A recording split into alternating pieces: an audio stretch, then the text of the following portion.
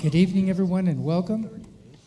It is time to start this regular meeting of the San Felipe Del Rio Consolidated Independent School Board, School Board Trustees, today being Tuesday, February 21st, 2023. Madam Secretary, uh, this is a regular meeting, by the way. Uh, Would you call roll for us? Yes, sir. Ms. Becky Luna Chavez, Present. Mr. Overville, Present. Ms. Gonzalez, Here. Mr. Mesa, Here. Mr. Galindo, Present. Ms. Haynes, Here. and myself. Sir, we have a quorum. Thank you very much. Let the record show that we do have a quorum of board members and that this meeting has been duly called in accordance with the Texas Open Meetings Act, Texas Government Code, Chapter 551. We will have opening ceremonies, first with a moment of silence for personal reflection, followed by the Pledge of Allegiance. Would you please stand?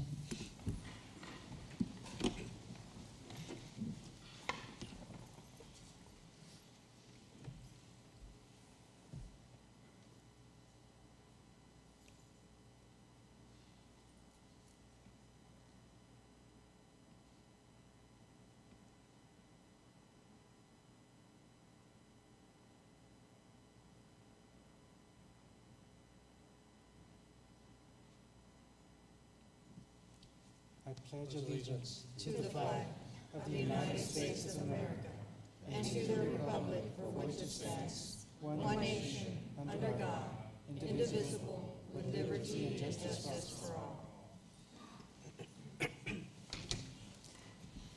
Again, thank you so much for being here tonight.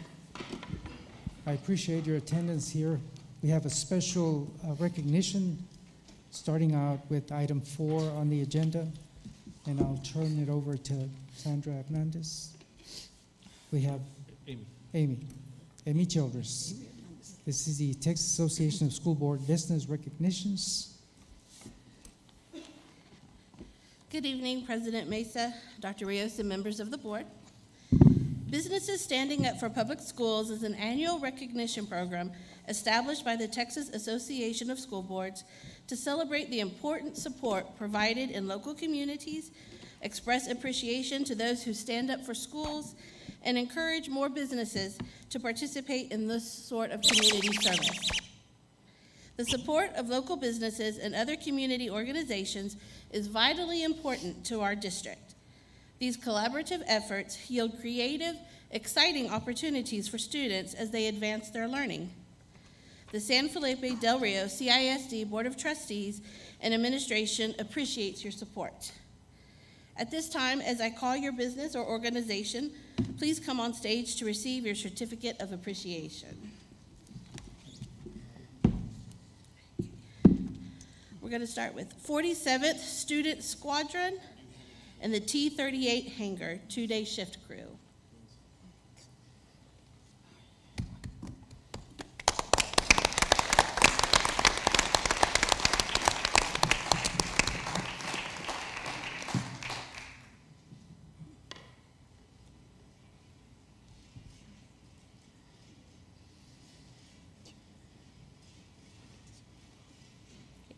Eighty-sixth Flying Training Squadron and Laughlin Air Force Base 85th Flying Squadron.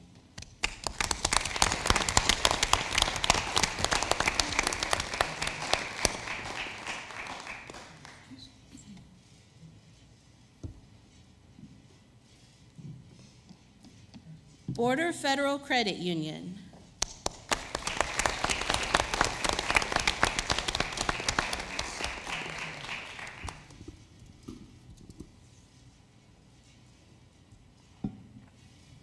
Brown Plaza Association.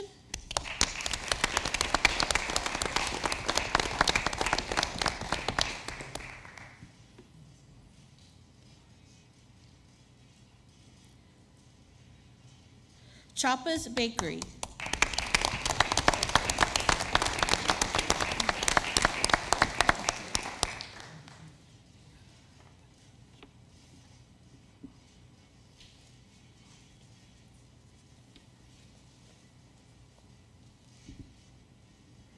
CrossFit Del Rio.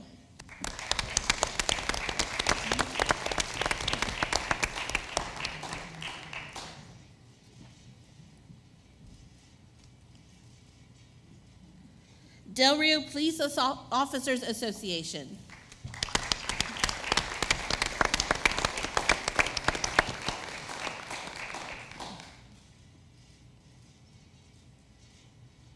Del Rio High School Class of 1984.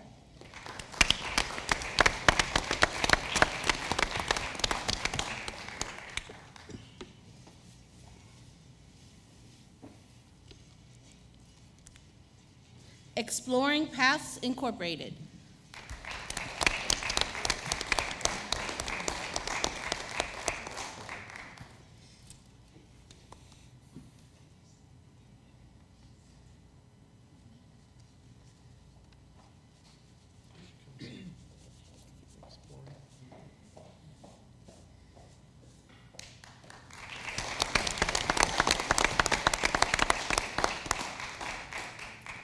Itopia.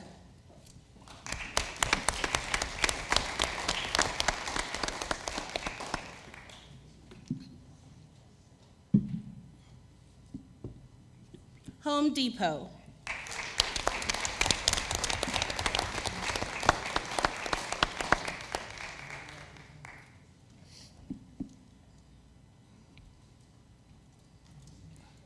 Marcy Zertuche Cast Designs.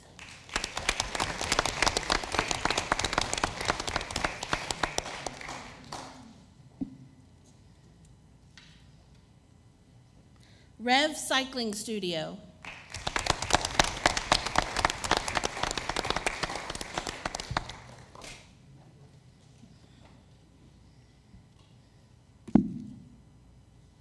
Rudy's Barbecue.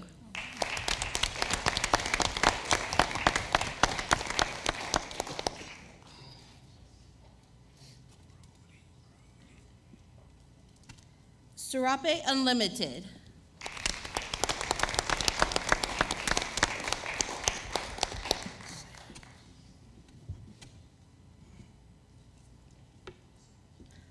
Sojo Cellar.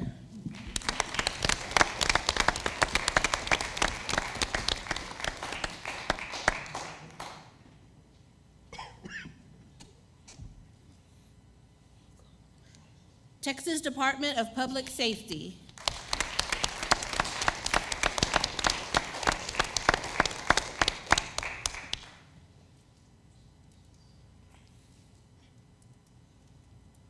The Nail Studio.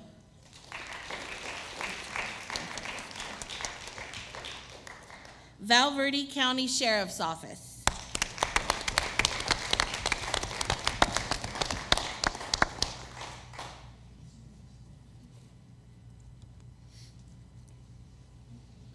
The Standard.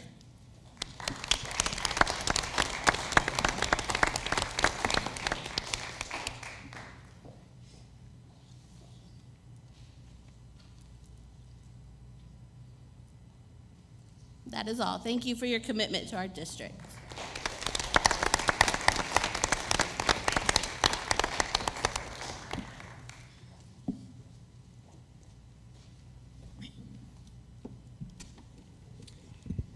Thank you, Amy. And, and once again, um, we appreciate every business organization and individuals that assist us throughout the year with uh, donations and uh, in-kind contributions. Uh, everything helps, um, and we appreciate that, and that's why they're being recognized. Because throughout the year, we have individuals and businesses that support every endeavor that we have here in our district. So again, thank you very much. Next item we have is item uh, 4B on our agenda, and that's National CTE Month presentation. Mr. Roger Gonzalez.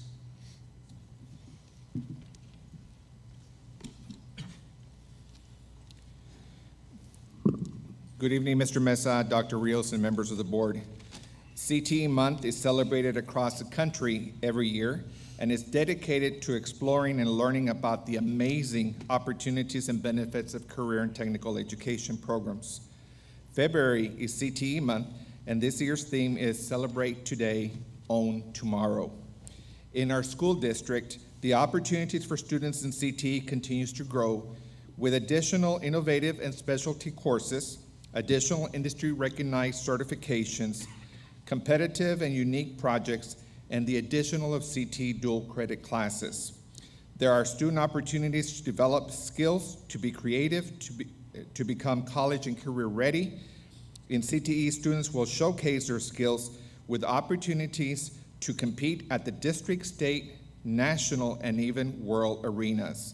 Our CTE family is made up of 44 dedicated CTE teachers in six different campus locations, a, com- a committed support staff, and over 3,000 CTE students in 21 programs of study and in 12 national career clusters.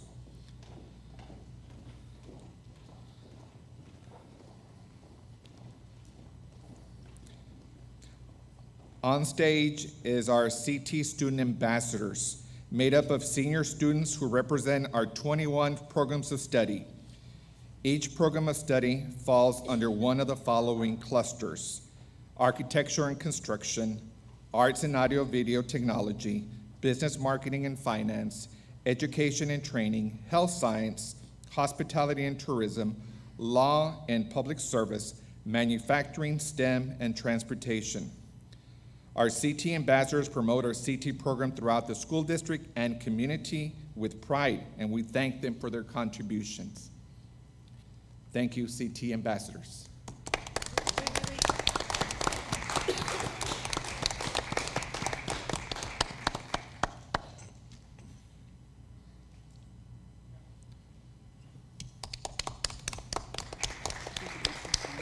As a token of our appreciation and support for our CT programs, we are providing you with a student-created charcuterie uh, board, specialized.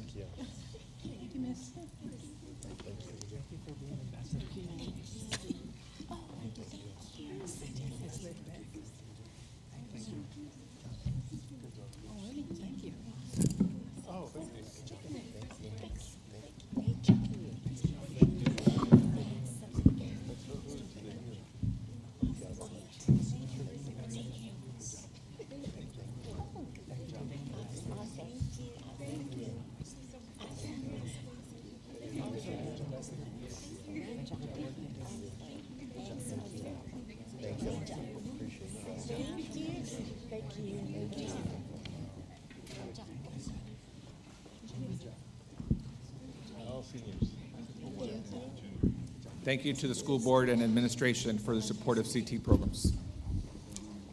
Thank you, Mr. Gonzalez.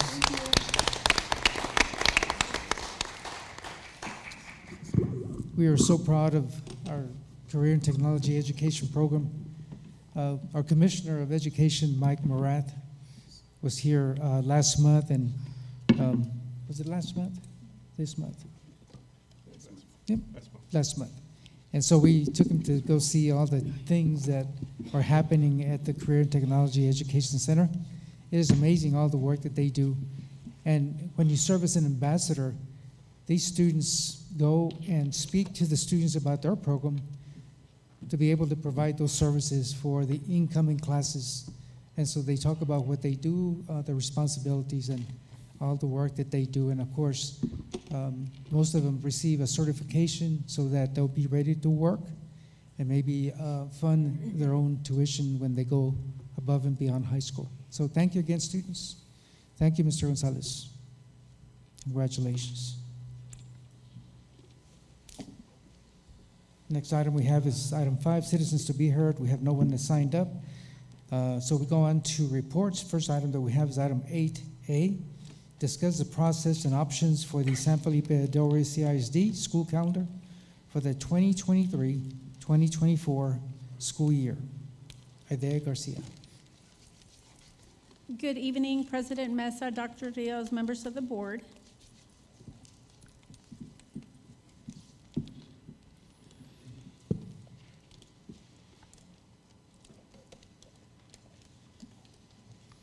Every year, we bring together the District Planning and Decision-Making Committee to give us feedback for the school calendar. Once we have their feedback, we present it to the board for additional recommendations before we take it to the entire staff to vote on the calendar that they would like to hear. Yes, sir. Did you have a question? No, I was waving hello to Frenchie McCray. I'm sorry. Okay, sorry.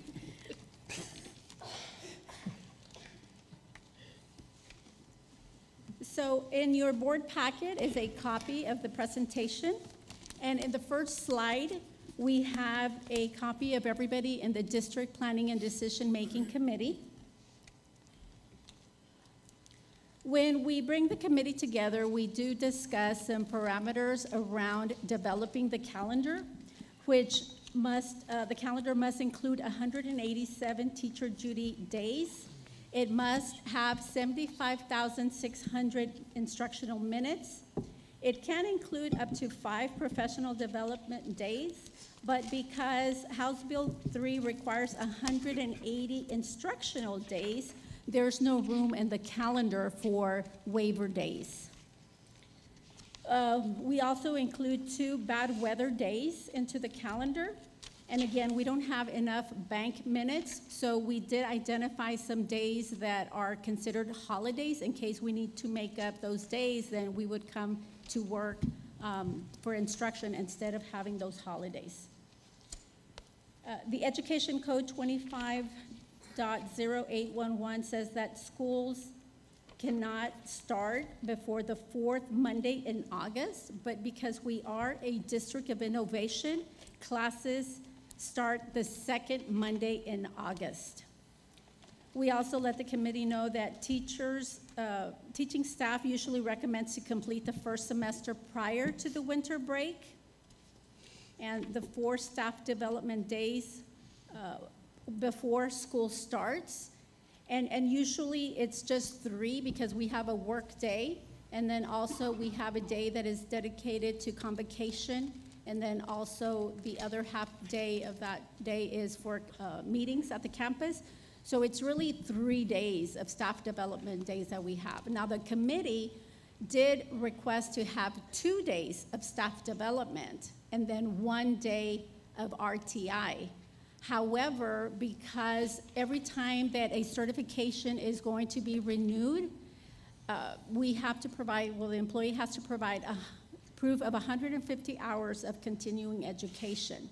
And those are required by doing at least 30 hours every year. So if we reduce those professional development days anymore, it's going to be difficult for the teachers to get their staff development.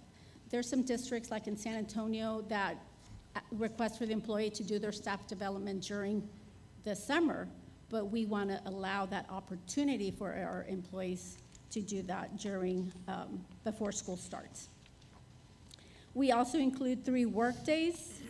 We do honor Memorial Day as it's required by policy, honor Martin Luther King, and then honor Veterans Day as well. As I mentioned earlier, we do have to have 75,600 minutes in the calendar, but because we are uh, applying for House Bill 3, which reimburses the district for funds from summer school up to half the ADA, we also have to include 180 days, and this does not include any waiver days. This year, we um, asked the committee to consider April the 8th, 2024 as a holiday because there's going to be an Oasis of Texas Solar Fest, which is going to be an eclipse.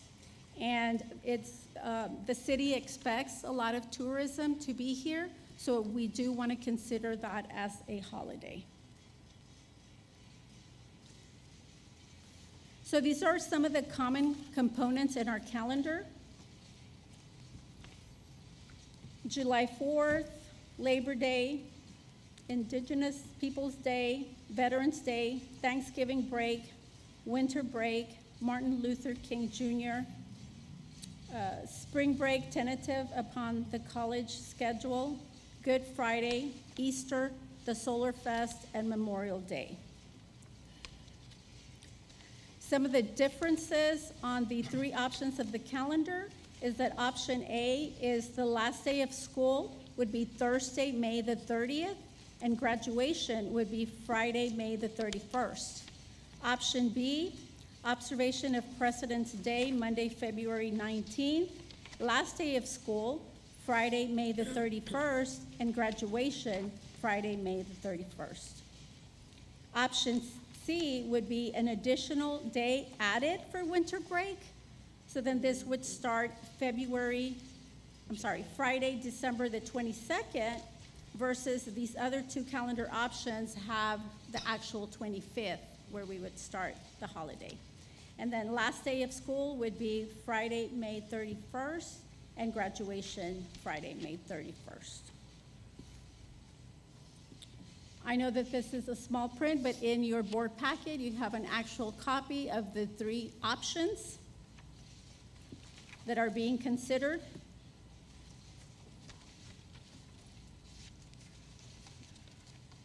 And at this time, if you have any questions or any other recommendations to, to these three options before we take them to the staff for their votes.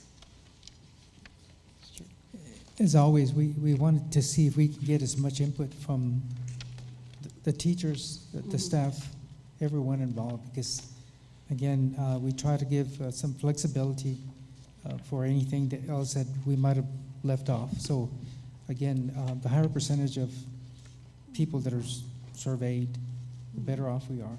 And I'll turn it over to Mr. Overfield has a question. Anybody else? Uh, Couple questions. Um, How is it that we've, the last couple of years, we've been done by like the 20th or or around there, but this coming one, we're pushing like all the way to the end of, of- of May? I think I'm confused on, on that as to, even though we're starting early as a DOI, we're finishing later than what we have in the last couple of years. I'm lost on that. That's one question. Yes, sir. The calendar this, for this school year, the second Monday was the seventh. Okay, because it, it started, let me see if I have it here. So it, it was the, the seventh. This coming year, the second Monday is not until the fourteenth. So that's why we have to push it out to the end of May. Okay. Um, Okay. And then the other question, uh, because I know it's been going around in the, in the news, and I know other board members have, have, have asked about it and stuff, and um, just so that there's a, so the public can understand why we're not moving in this direction. Uh, The four-day school year, uh, there because I, I know a lot of tiny districts do it, and I know that we're much bigger than Winters ISD and, and stuff like that. So if, if admin could explain why, I guess that's much more difficult for us to do uh, as opposed to some of these smaller ISDs. Um, because I'm guessing they're still, they still have to follow the same minute guidelines, but somehow they're doing it in four days and having a, a, a, a work day slash tutoring day on, on Fridays. So just so the public can understand, because I know I've been getting lots of questions. I know some other members have. Sure. Uh, Mr. Overfield, members of the board, having a four-day week uh, has been talked about and, and applied at, some districts. Primarily, uh, they're using it as a method of recruiting teachers, where you work four days a week and you still get paid salary. The reason they're able to do that is because they just extend the day um, so that they meet the required amount of minutes. Anybody can do that. Uh, There's two major obstacles, three major obstacles uh, to implementing that. One, in a district that has as many student activities as we have, a whole lot of our teachers would still be working that fifth day. Whether it be practicing for an athletic event or fine arts activity, they would still have the need to do that, CTE, to get in the number of hours for, that the kids need uh, to, to meet their certifications. A whole lot of our employees would still be working that fifth day. Uh, The second piece is there's, it's just difficult. We have a working community. It'd be difficult for those parents at work to find that daycare on that fifth day, on that Friday. Extremely difficult. And probably more important uh, for us, not wanting to even consider that, is that uh, the academic achievement for each student, we believe, would take a significant hit because there's only so much attention that the student has to give in a day. So we're extending that time where we want the student to be attentive, uh, yet the standards aren't getting any easier. So we know the kids aren't going to be attentive for those extra minutes. But the standards stay the same. It, it, it doesn't make any sense. So for those three reasons, we would uh, prefer not to consider. Okay, and, and I, I appreciate the, the clarification, especially for those watching at home or, or, or who will look at it later. Um, last thing I say is, I, I like the, and, of course, it's up to the teachers and staff and everybody who works. Like Mr. Mesa said, everyone needs to, to give their input on it. Uh, I think given that Friday before Christmas break is a big thing because of how close Christmas is that, ye- or next year, I think we'd see a high attendance loss anyway for people who are traveling, so we might mitigate that. Thank you, sir. Thank you for your comments, sir. Anyone else? Just Mr. my Rodriguez? question would be, uh, so y'all I'm gonna send it out to all the staff, how f- fast do y'all get it back and, and get the results in for that, so there's enough time for them to plan, and the We- parents to plan?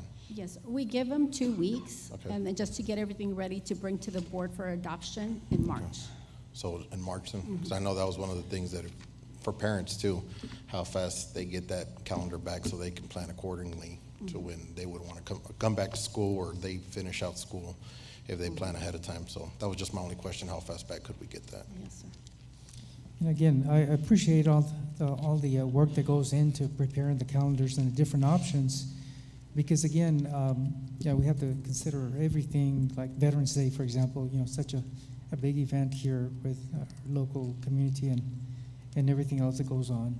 And also, we do look, as, as Mr. uh, Overfield mentioned, for good attendance, even though um, hopefully our funding will be somewhat different this year from the 88th legislative session, which I hope it goes into enrollment and not attendance, but that's to be seen yet. Thank you very much. Thank you. Thank you. Again, these are discussion items. Uh, Next item we have is a report on facilities and construction update. Israel Carrera.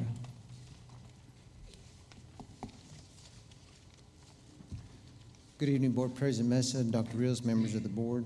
I'm sorry. Are we striking B? Yes, yes, I'm sorry. Dr. Rios. I'm sorry. Thank you for Thank you, Mr. that. Uh, Mr. Mesa, our, our teachers uh, had their students take their benchmark exams, and we had wanted to make a report, but uh, through the weekend, some teachers were still grading some of the benchmarks. The data couldn't be uh, presented in a way that would make sense to the board. There's also some issues that our teachers will be working with. We all know that there is a new exam. Uh, the way our system records it, there are some questions, there's a problem with the way our system records it. There are some questions that might uh, be worth two points. But if you get it not entirely correct, the state of Texas will still give you partial credit. You might get one of the two points. But in our system, when we transcribe the answer code to DMAC, if it's wrong, it's wrong and you get no points. So to get an accurate report, we have to go in there and figure out how we're gonna give partial credit for some of those questions. So there's really two issues why we can't make the report today. One, they just finished the benchmark uh, late last week. Some people worked through the weekend, still haven't fully graded it. Uh, Then we obviously have to review the data to make sure it's accurate. And then the second problem is, again, the platform that they took the test and the platform that um, gives us the report on how many people passed. Those two don't speak to each other. So we have to figure out how to work all that out. But uh, to our principals and the teachers that are here, just, I, I know it was a lot of work trying to make everything work. We wanted the students to take the test on that separate platform so that they have what the commissioner is calling an at-bat to understand how the new test is gonna be and how difficult it's gonna be. So we gave them that at bat, and, and we're happy for it, but now we're trying to make sense of the data on a platform that isn't speaking to the Cambium system where they took it. So, uh, again, principals and teachers, thank you for the work that you did, and, uh, there's just a little bit more work left. But we'll, uh, we'll keep moving forward. So we will provide an update as soon as we have it, and then we'll make a public presentation uh, at the next board meeting, Mr. Mesa. Thank you, Mr. Overfield, for the reminder. There's two items that will be tabled tonight, and we'll come to the other one later on, but thank you again for the reminder. Okay, um, facilities and construction update, Israel. So we'll be going over the Ceniza Hills Elementary, the Del Rio, High School roofing replacement, and the Cardwell move to North Heights. In the Ceniza Hills Elementary campus, um, got block installation ongoing. We have the E EIFS installation ongoing, which you see there is kind of that stucco looking. And then number three, we have this uh, cinder block, you see these rods sticking up. We have a cinder block wall going there that will cover our trash containers there at, at the elementary.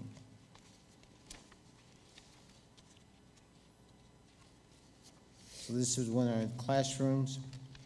We have approximately fifty percent of the classroom have the first coat of paint. Um, Electrical and plumbing and HVAC continue to progress.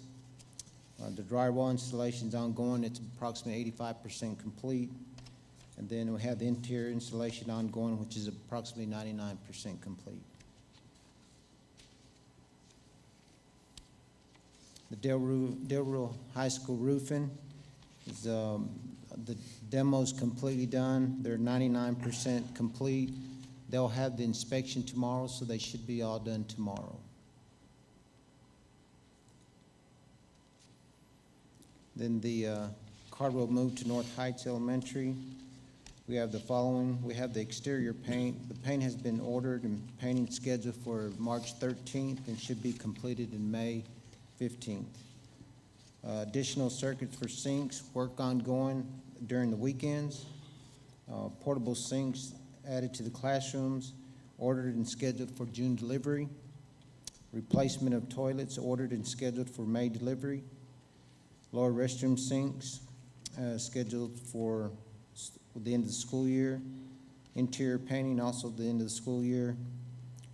Uh, Parking lot expansion will be done during the summer. And then the playground park is planned for during the summer break. Then enclosed uh, hallway construction is during the summer break and ongoing after that, during the school time. Then the new furniture will be taking place between July seventeenth and July thirtieth, twenty twenty-three.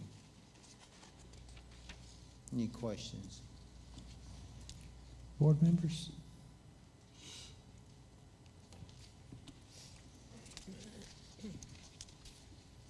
I guess I, I just want to reassure uh, on the Ceniza Hills. I think uh, the last meeting that we had, we have a um, change of order, um, work order, but we added some addition Dr. Rios, some funding, additional funding? Yes, Mr. Mesa, the, the last meeting, we uh, did the change order for the playground in the, in the back. Uh, So we did have to add some more money to the construction budget, but not to the overall budget because that money was a combination of the money that was donated by the city and then some of the contingency money that we had. However, we had to make that award to the contractor so that they would begin the work. Uh, We feel confident that everything will be done uh, completely before the, the start of school with, with enough time to move in and everything else that goes with that, giving uh, the staff that's assigned there time to go in and make their room their own, where they don't have to wait till the first, uh, first day of school or the first workday. So we're, we're confident that everything, it's a lot, but we're confident that it's gonna get done. Do we have any timeline in regard to the city uh, with their assistance on the park?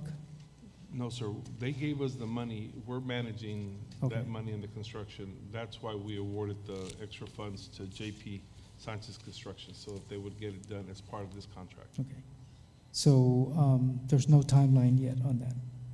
Uh, Well, the timeline is uh, the, the end of June, I think is a revised timeline. Uh, Mr. Chapa, that you were working with him? Yes, sir. Okay. I, I just want to make sure that it- that everything's complete and fenced off and so forth. Yes, sir. Okay. Anyone else? Thank you very much, sir. We'll go on to maintenance. Yes, maintenance. The work order report. On maintenance, work order reports is zero to fifteen. Uh, Submitted were four eighty-eight, closed were three eighty-three for seventy-eight point five percent. The sixteen to thirty days, hundred and forty-four were submitted, hundred and twenty were closed for eighty-three point three percent. Uh, The thirty-one to sixty days, one thousand one hundred were submitted and eight hundred and fifty-three were closed for seventy-seven point five percent. And the sixty-one to ninety days, forty-six were submitted, thirty-one were closed for sixty-seven point four percent. For technology, zero to fifteen days, seven, or one thousand seven hundred and seventy-two were submitted, one thousand six hundred and seventy-five were closed for ninety-four point five. Sixteen to 30, 215 were submitted, hundred and eighty-four were closed for eighty-five point six percent. Thirty-one through 60, 1,545 were submitted, one thousand four hundred and seventy-six were closed for ninety-five point five percent. And the sixty-one to ninety was thirty-three submitted, twelve were closed for thirty-six point four percent. And last but not least is transportation. Zero to fifteen, hundred and thirty-eight were submitted, one hundred and twenty-one were closed for eighty-seven point seven percent. Uh, Sixteen to thirty days, twenty-three were submitted, seventeen were closed for seventy-three point nine percent. And thirty-one to sixty days, twenty-five were submitted with twenty-three closed, ninety-two percent. And sixty-one to ninety days, forty-one were submitted, thirty-nine were closed for ninety-five point one percent. Questions from board members? Dr. Rios, I have a question here in transportation. Again, uh, we have an item later on on the agenda for the purchase of 19 buses. Um, What will happen with the current buses that we have that will be replaced? Mr. Mesa, we asked that specific question. And um, according to the agreement that we made, those 19 buses have to be decommissioned. Uh, As a matter of fact, uh, we have to pretty much drive a stake through the motor to make sure that they're not used anymore and they're put entirely out of commission. So we are taking the oldest buses that we would have to replace anyway. But the idea is to limit the emissions, and the only way you limit them is by putting them out of commission. So we're gonna get brand-new buses, but uh, the transportation director is required to decommission the other buses. We're, we're not gonna sell them uh, or give them to another district. That's all part of the grant. So it's like the old um, cash for clunkers. That's pretty accurate. They, they did allow us, though, to take whatever parts that we needed that were still, they allowed us to take those from those nineteen buses. And and the reason I was asking, because again, 19 is quite a bit, but again, um, some of these buses are still in circulation, so I'm thinking, you know, government spending, we could do something with selling or trading off, I don't know, but to decommission is almost saying we're gonna junk these, they're scrap. But I guess that's the way we deal with federal grants. Yes, sir. All right. Okay, thank you. Thank you. Next item we have is uh, reports, again, item 8D, attendance zones rezoning update. Dr. Rios? Uh, Yes, Mr. Mesa, I'm going to speak to the first couple of slides, and then I'm going to ask Sandra for help taking us through the rest of the presentation.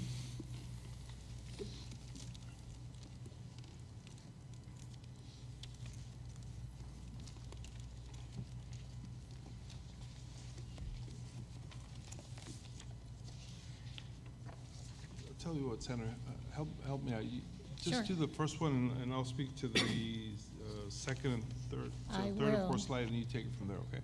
Yes, sir, I will. Good evening, Mr. Mesa, Dr. Rios, and members of the board. What you have on this slide is the board policy with regard to school attendance zones. And the board policy indicates, indicates that the superintendent establishes the school attendance zones that will provide for an equitable distribution of students across the district. So the purpose is for, um, for, for us to maintain the neighborhood school concept. It's to eliminate overcrowding.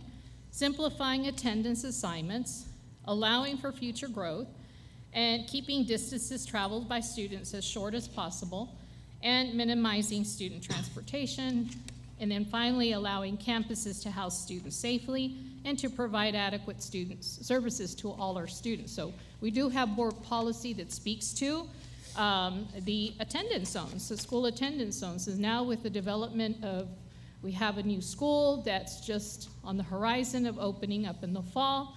It's time for us to start thinking about school attendance zones. And this is the policy that speaks to it. So um, we did engage with the school, with the demographer, if you recall, a few months back, in anticipation for um, the uh, zone study. We, we took a look at uh, the school zones. We met with Zonda Education. And in looking at the district, we had to look at a couple of things. We had to look at the projected enrollment patterns for each school, and we need- needed to look at the student demographic information. So, looking at this chart, looking at the very top line, you see the student count by zone. So, working with the demographer allowed us to look at the school attendance boundaries and then start adjusting them so that we create a balance. If you go back to the policy, it's about equitable distribution. And that was our main priority, is to, is to begin with that idea so that we would have an equitable distribution. And you'll see at the very first row, you'll see with this distribution, we were able to manage Ceniza Hills at 531, Buena Vista at 577, Lonnie Green at 650, North Heights, which is a pre-K, is anticipated at 650, Garfield 661, Calderon 613, Lamar 618, Ruben Chavira 585, and you see Bobby Barrera with 67, but I want you to think about that as we have our military families PCSing in and out of the base, um, you're going to see um, a, um, this, this enrollment number uh, jump to about 150, or at least close to 150. So we'll see that over the course of the summer. Uh, pretty much the beginning in the spring, we'll start seeing some movement with that particular campus.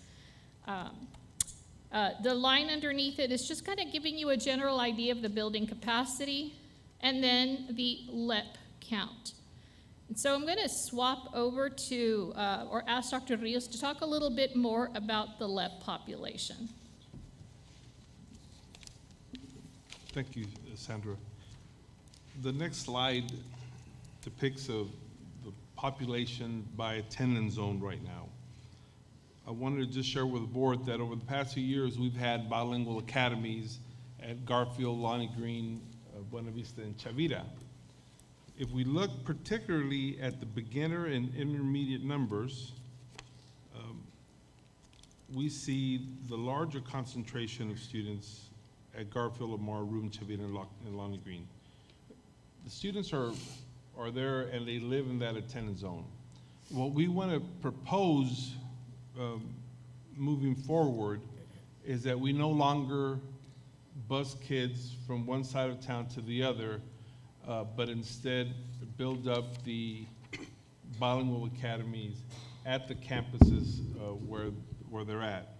Besides saving them on time for transportation, we will be able to see the students progress from beginner all the way through advanced high at the same campus. Garfield, Lamar, Ruben Chavira, and Lonnie Green uh, would be the natural uh, bilingual academies where we would put the same resources in terms of the instructional aides and, and the bilingual strategist. We have a fifth strategist that would primarily spend their time at Calderon. We would also provide some instructional aides at Calderon. And then we would look to support Buena Vista and Ceniza Hills uh, primarily with their uh, beginner and intermediate population.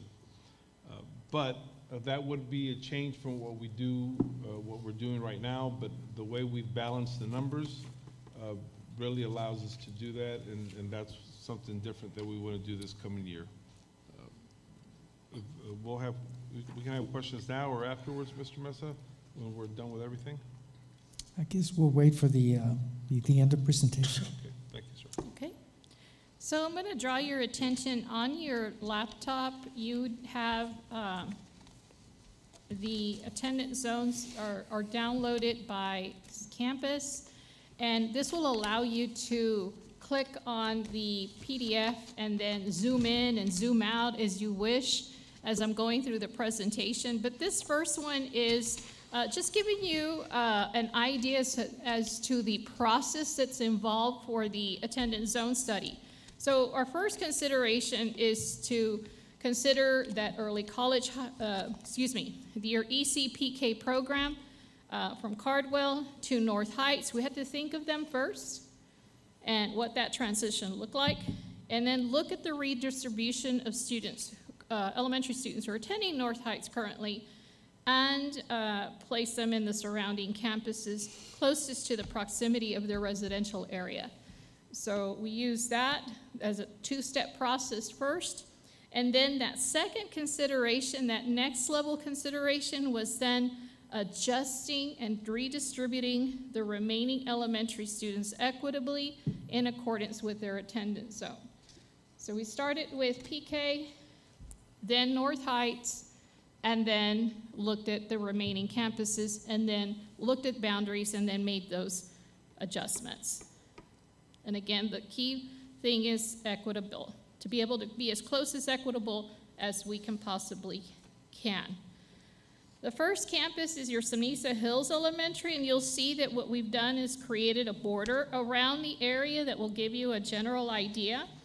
And so the Ceniza Hills attendance zone encompasses the area north of Crestline onto Bedell Avenue.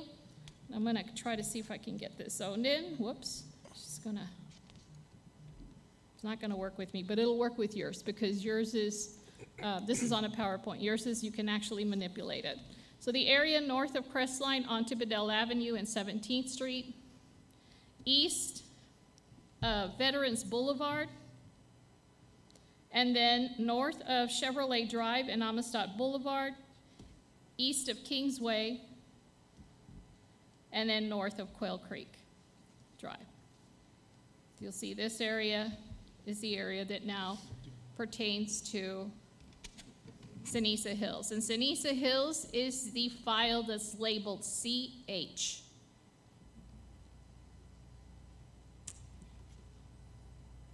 Give you a little chance to take a look at it.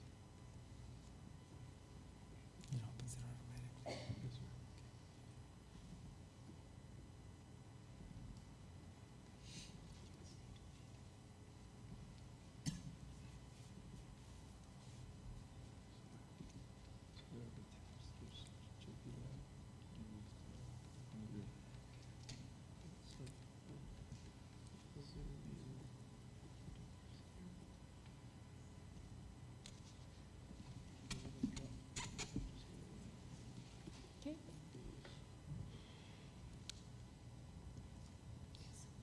We'll proceed. Okay, so let's take a look at then Buena Vista Elementary. Now we see this attendance zone has then been shifted. The attendance zone encompasses the area south of Quail Creek Drive and then south of Amistad Boulevard, the area west of Veterans Boulevard to 15th Street. And then Crestline on to Bedell Avenue and 17th Street, east of Veterans Boulevard. And then north of Chevrolet Drive and Amistad Boulevard. And then east of Main Street to Mary Lou Drive. And then the area west of Kingsway and Sabrina Drive.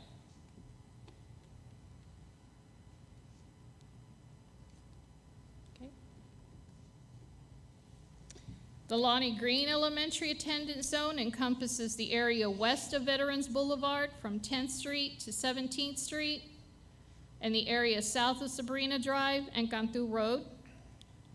It encompasses the Cienegas Terrace residential area to the Duck Pond and Hilda Circle. It's just a slight adjustment here.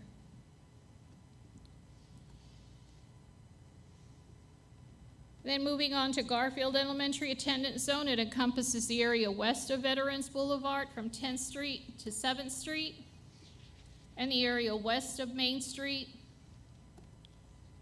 to the Industrial Park neighborhood, and the residential area surrounding Garfield Elementary south of the railroad tracks and west of Main Street.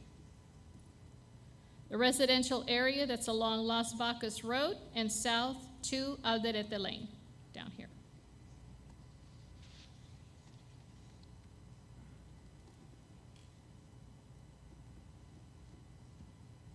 The Dr. Fermin Calderon Elementary Attendance Zone encompasses the area east of uh, Veterans Boulevard from 17th Street to 7th Street, and the area east of Bedell Avenue and north of US Highway 90 East.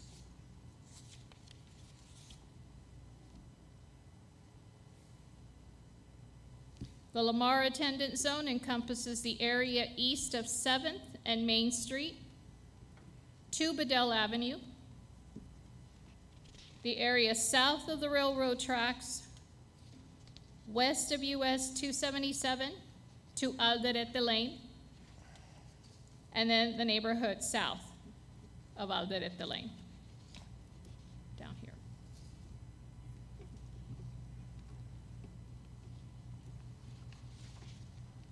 The Ruben Chavira Elementary Attendance Zone encompasses the area south of US Highway 90 East and east of US Highway 277 South, and the neighborhood south of Garza Street and west of San Felipe Memorial Middle School.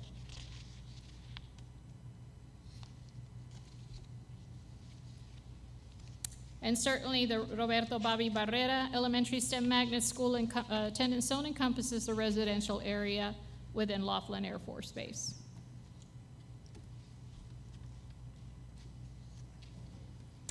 Okay, questions? Dr. Rios? Sorry. Sandra, appreciate all the work that you helped us do on this. Can you go back to the Buena Vista tennis zone? I- Yes, sir. I heard you say Bedell Avenue, and I, I just don't know of a Bedell Avenue anywhere near Buena Vista. Did I hear it wrong? Uh, It's Crestline up here. Can you show me uh, with the cursor? Okay. Oops. I'm gonna borrow Mr. Smith's computer here.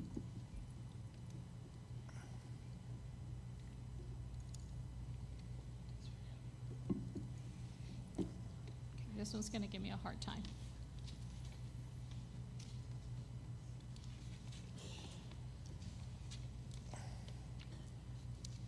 And this is this area down here Uh-huh. along Bedell, No, just this very short distance right down at the bottom. that's veterans.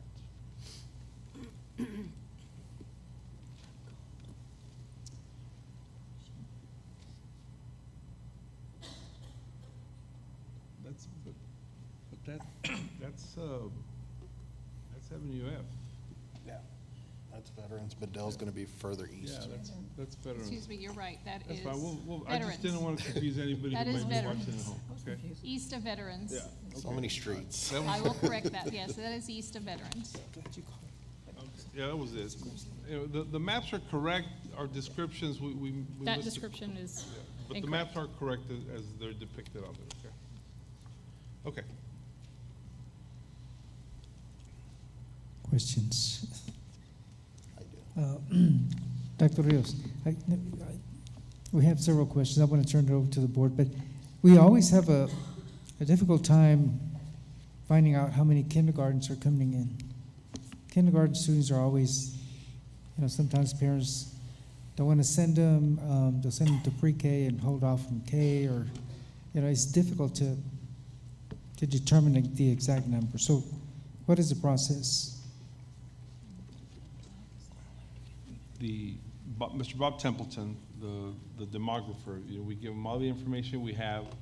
Uh, he also does the, um, what's that thing we do every four years, Sandra? Now I'm short on words. Uh, S- So we do a demographic study, but we also do, um, um, The census. The okay, census, there's what right. Census data is available. So he tries to gather as much as is available uh, to, to make these predictions. The kindergarten numbers very well might be off uh, by a handful of kids, uh, but not drastically off. And, and every campus always sees a difference. They might, one year they might have, you know, four classrooms for kindergartens, and the next year they might have three or five, depending on the size of the campus. But it's always manageable. Okay. There, there are several questions that come to mind. Um, for example, Kelly Ranch, you know, subdivision that's being developed on two seventy-seven. Um, lots are going up for sale. Don't expect too many people to move out in that direction, but, um, things to consider with the planning and zoning. And then the other thing is, um, just want to make sure that there's room in case, as I mentioned, kindergarten, that we have 50 more students and we need another classroom, that we're not maxed out in regard to the planning zone maps. So, Dr. Rios, there will be some additional classrooms that are going to be available for Yes. growth? Uh, Mr. Mesa, uh, Sandra, can you go back to slide number three? So if, if we look at slide number three and we look at the, at the building capacity, we don't have a building capacity for Ceniza Hills, but I know for a fact that we model Ceniza Hills after Garfield. So the, the building capacity there will be at least eight hundred and fifty students. Mr. Chapa? Okay.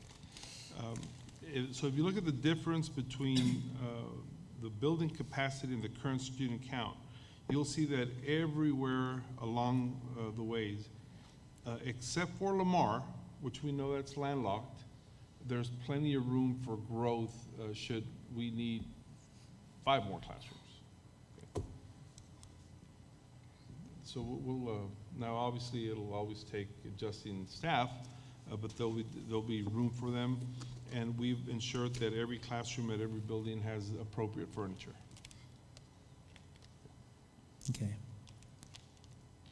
Now, I'll turn it over to Ms. Galindo, I had a question. Just to uh, clarify, so then in the attendance zone study, Dr. Rios, the lab count, that's included in the student count by zone already? Yes, sir. Okay, so Already it's not five thirty-one plus seventy-six, okay.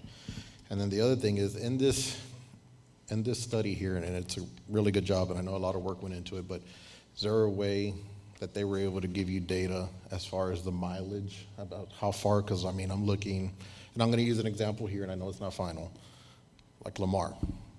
You may have kids in this Miguel Angel, Greenway Lane, and so forth, and the mileage to get to Lamar is looked pretty far. And so was that taken into consideration? Because they may be closer going to Lamar, you know, based off of mileage, and if we're trying to do it by the close amount of, close proximity of residential area, you know, did they give you more or less, I mean, how mu, a mileage demographic on that?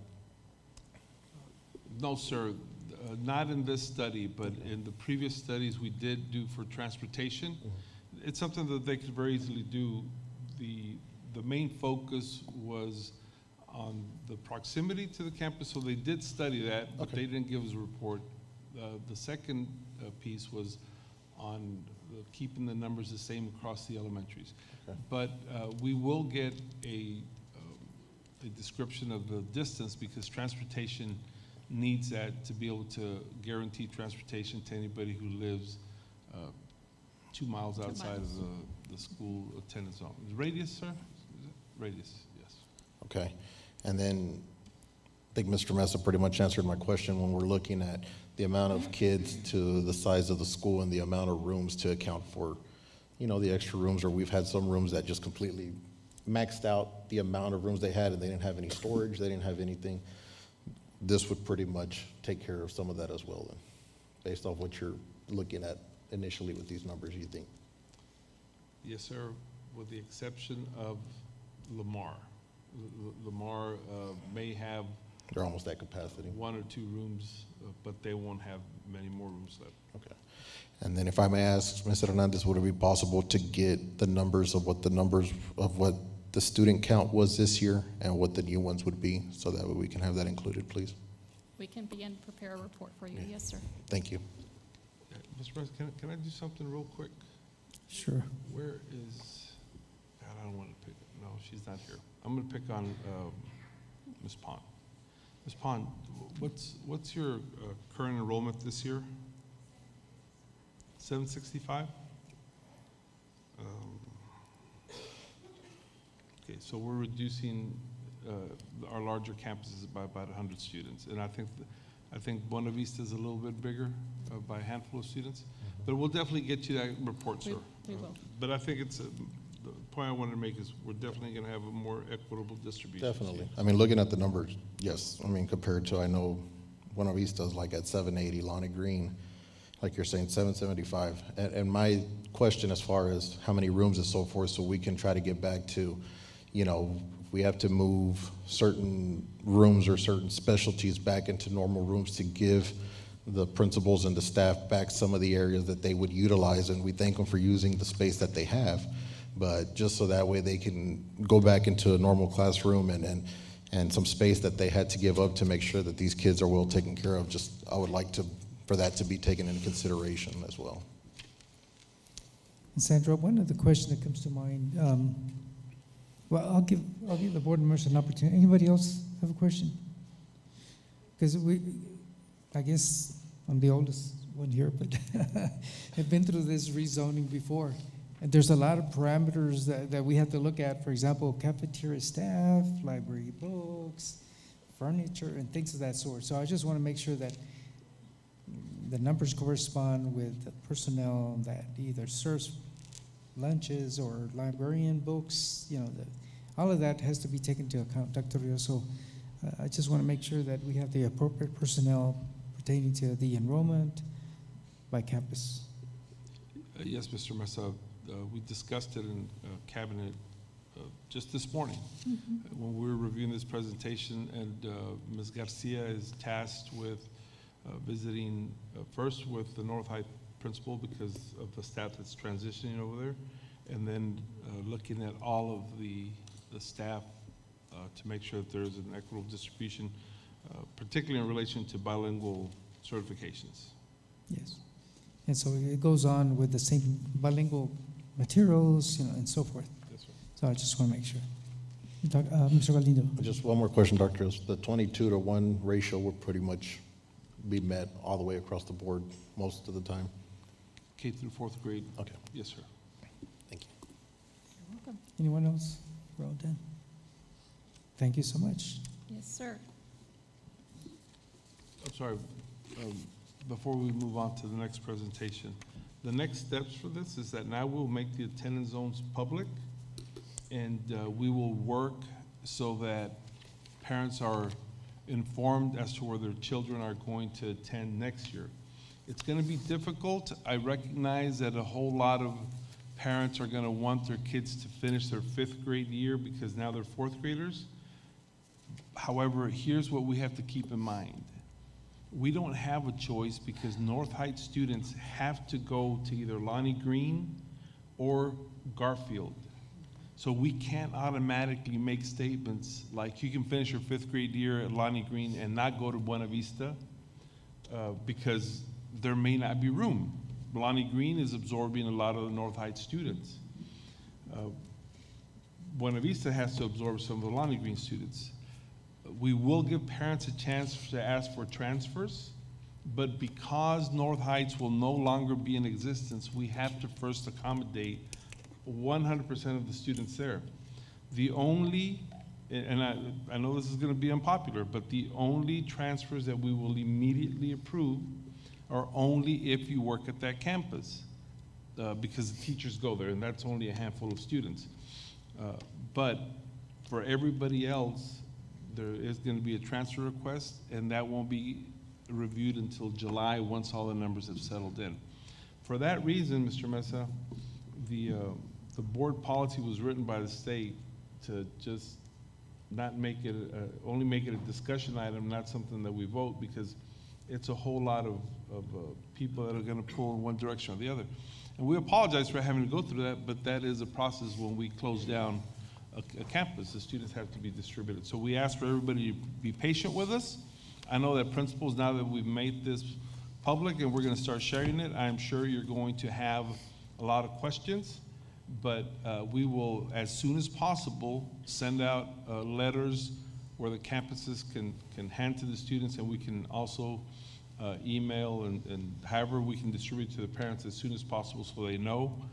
Uh, And we will publicize a transfer opportunity um, later in the school year, and it is going to be difficult, but this is all part of the process. Okay. I just want to remind the board members that this is one of the topics that we'll have a full audience when we t- discuss is rezoning or cheerleader trials. Just wanted to throw that in. Okay, we're done with Mr. Mesa. Question. Oh, Yes, I, I just, um, Becky noticed Chavez. in here, I don't know if this is on, um, will Garfield always have, or does it always have a bigger concentration of LEP students? Yes, ma'am, that's, That's, that's the area, case. because of the area. yes, ma'am. Yes, ma'am. Thank you. okay. Anyone else? We're done? Okay, thank you very much, Sandra. Next report that we have is item B, E, Strategic Plan Innovative Projects, Sandra Hernandez. Mr. Mesa, I'm going to make that presentation. Um, I'm, I'm thinking, uh, Sandra, can you just help me and I'll make it from here Uh-huh. to save time? Is that You okay? could tell me Yeah. to change the slide, sir, when you're ready. Mr. Mesa, uh, members of the board, Sandra Hernandez organized uh, all of the strategic plan activities. I'm going to ask her to just review for us uh, the first slide to just remind everybody the process that has gone, that has gone on and what has brought us to this point. Thank you, Dr. Rio. So uh, just to kind of bring you back to the strategic plan, this has already been almost one year of process. And, and through the year, we have done a lot of things. There's been a lot of action steps. And we began with community meetings. Uh, we went through three different campuses. We invited the community to come out. We invited parents to come out from every single campus to come in. And we became, um, um, we began with proposing the idea, the what ifs. And in that, uh, in these meetings, it created a dialogue between parents, um, teachers, uh, and of course administrators. And this was a very fruitful piece because in that piece, it opened the opportunity for our community to begin to share what, how they feel about um, how the ideas that we have, and certainly they appreciated that we included them in that involvement process. We began the steering committee in April and May of, of last year. We formed that committee. We then uh, began to, uh, if you remember, the vision um, and the mission of the district. We started to look at the strategic planning processes and the areas that we were going to focus on as a district for the next few years. And then we came together and worked as teams and put together an action plan. That action plan was developed in May and June. There's a lot of work, a lot of uh, uh, participation. Again, we invited community members back to work with us. Students worked with us, and as well as our, our teaching staff and our administrators together working on an action plan. We brought this plan to you for adoption um, in a board presentation last uh, in August at the start of the school year. We had uh, we then rolled up our sleeves and got to work with it, and so the innovation committee meetings began. Um, they started to have discussions and started to talk a little bit more in detail about the things that needed to happen in order to uh, work with the innovative programs. What needed to happen? What do, what do we need to do? What do we need to be able to move forward with it? So those discussions happened, and then we rolled out another parent survey. So at first, we met with a select group of people that came in face to face back at those community meetings. But now we rolled out a survey to all of our parents um, from elementary, your, your K 1, fourth, fifth, and then middle school. And we asked them, What do you think? And so we had a great turnout. We launched that thought exchange survey in December. We had our innovative teams, committees go and uh, conduct site visits, go visit other schools where these programs uh, are at to get to see what it looks like and what it could look like here in our school district. And then um, we came together and did a debrief. And so I will tell you that that parent um, feedback was critical and supportive. And it basically said, we're on the right path, we're moving in the right direction. They're very appreciative of the innovative processes, the innovation, and the opportunities for their children moving forward, and they're really excited about what's about to happen next. So, this is pretty much in a nutshell the progress timeline of what has happened up leading up to this point. Thank you, Sandra. For the rest of the presentation, we want to talk about the elementary STEM program that we want to launch, the dual language program, creating a new tech middle school, a new tech high, and the P-Tech program that for all intents and purposes is already uh, moving forward. First, uh, let's uh, talk about the elementary STEM.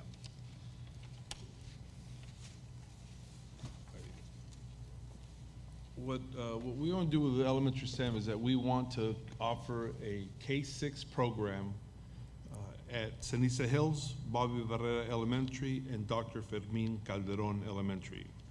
We want to begin this coming year with a kinder and first grade cohort. Cohort wouldn't be any larger than two classrooms per grade level per campus.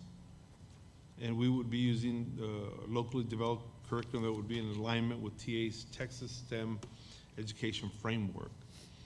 The reason we want to start out small is because it just, it's going to be a lot of work in developing uh, the curriculum, supporting it through our dashboard, through our resources, and training the teachers. Uh, Obviously, we have to gauge how much uh, uh, student interest there is, but based on the survey, there was just a whole lot of, a whole lot of interest. I want to make clear that students that attend any one of the schools, except probably Bobby because it's just a one classroom campus, just because you attend Ceniza Hills or Calderon, you're not automatically in the STEM program. Everybody would go through the application process. For the dual language program, uh, that's a K-5 program uh, that would be first located at Buena Vista, and uh, based on the interest, we would uh, also locate it at Lamar Elementary. Again, two classrooms per grade level, and it would be a locally developed curriculum that's also in alignment with TEA's effective dual language immersion framework. That framework, however, hasn't been fully published, but we think it will be in the next couple of weeks. New Tech Middle School. The New Tech Middle School is going to be at San Felipe Memorial Middle School. It's going to be a sixth through eighth grade program, and it would begin here in August uh, 2023. However, for the first year, uh, it would be school within a school. It would, it would just be a smaller cohort of sixth grade students that would be at that campus along with their um, fellow sixth grade students. Project-based learning, also based of the TEKS alignment with TEA's Texas STEM education framework. And in the next few slides, I'll come back and talk about how the campuses would transition. And then a New Tech High School, the New Tech High School, think of the concept of, of the, of, of the early college high school. It is a campus onto itself. And This would be a ninth through 12th grade program, be approximately 150 students per cohort. It would not start until August 2026. The reason uh, that we would start that program is because at that point, we would have fully launched the New Tech Middle School. And it's not that just those students that went to New Tech Middle School would transition to New Tech High, but it would definitely give us the time to appropriately build that program because it is a whole lot of work involved that has to be done by the people in the district. Same curriculum uh, based on the STEM education framework. Now, the P-TECH uh, at the high school, uh, it's not a P-TECH high school, but it's a P-TECH at the high school, uh, ninth through 12th grade, uh, the freshmen, class of 2027, 25 to 30 students. That uh, process is already, we're already working to, to implement that uh, with the teacher certification, so we're excited about that. Now, I, I want to spend some time talking about the transition because it, it is a, a little involved and it does take some decisions that have to be made here in the future. So first, for San Felipe Memorial Middle School becoming a new tech, it could be New Tech Middle School at San Felipe uh, Memorial Middle School or San Felipe Memorial New Tech Middle School. This coming August, New Tech Middle School uh, will be launched as a school within a school concept at San Felipe uh, Memorial Middle School, sixth graders, cohort one, year one. The following August, New Tech Middle School would expand and enroll sixth and seventh grade students, which would be cohort one and two. At that point, the uh, remaining sixth grade students would no longer attend San Felipe Memorial. We would have to um, either transition them to Del Rio Middle School, which at that point would be a lot smaller, and through construction, we could create a separate sixth grade uh, division, which would be in line with the sixth through eighth grade middle school concept across the state, or we could consider expanding uh, elementary to, to include six, uh, K through six. That's something that we have a year to discuss with uh, parents because we know that we can create a safe environment for the students at Del Rio Middle School for sixth grade students, but we want to make sure that we have enough buy-in from everybody. If not, we want to look at the other option. But it would be a much smaller Del Rio Middle School as well. Okay. In August 2025, we'd have a full cohort of six through eight. San Felipe Memorial Middle School would be a six through eight middle school, and hopefully Del Rio Middle School would also be a six through eight uh, middle school. Again, we'll spend ample time talking with parents about that uh, preference. Now, for the freshman campus, becoming a new tech high school, in August of 2026, we'd have cohort one and the freshman uh, early college high school students.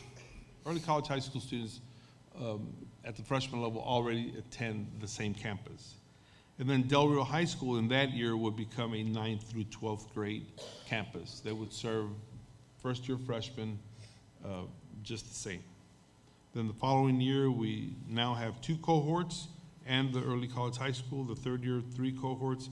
And then in the fourth year, it's a standalone high school uh, that would operate pretty much the same way that early college high school operates. Uh, Still participated in all activities uh, at, at uh, Del Rio High School, whether it be band or athletics. Uh, Everything would still be central to Del Rio High School. Now, we've done a whole lot of work, we've visited a lot of sites, we've had a whole lot of discussions, but now we, we need to, to begin seeing who the first cohort of students is. So we want to begin advertising uh, the plan. We want to make a presentation to all campus staff.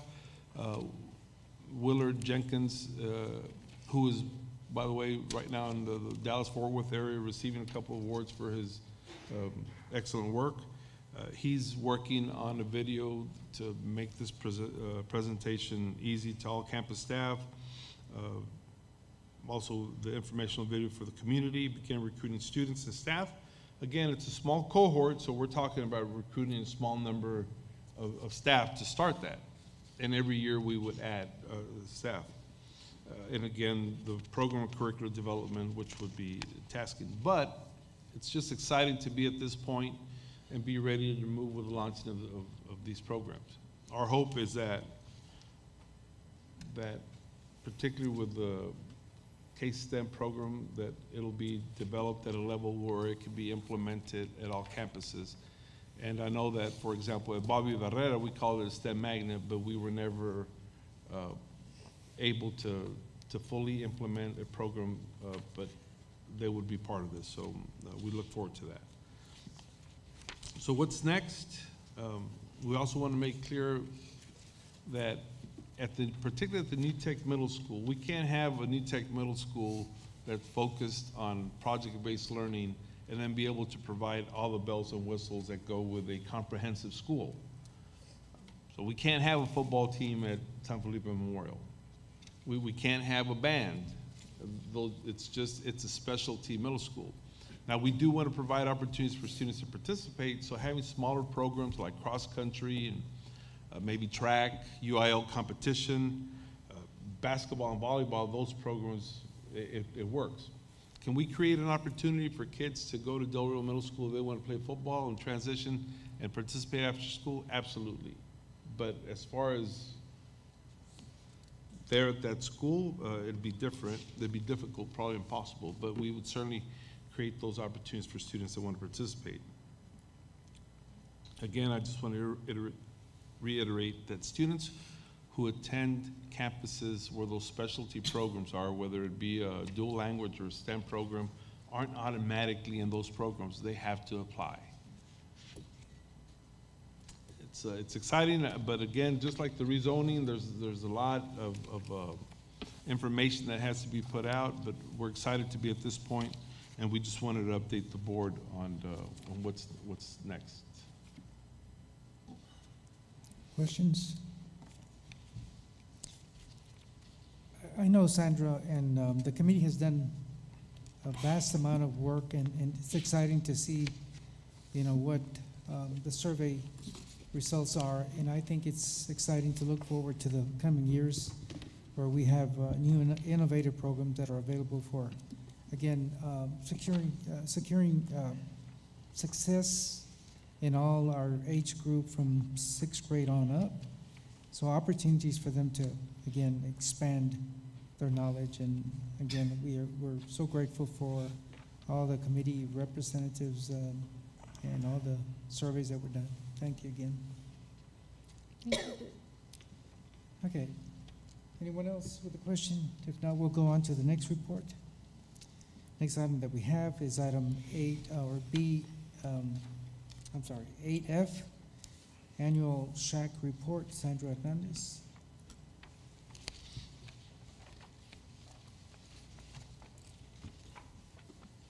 And good evening once again.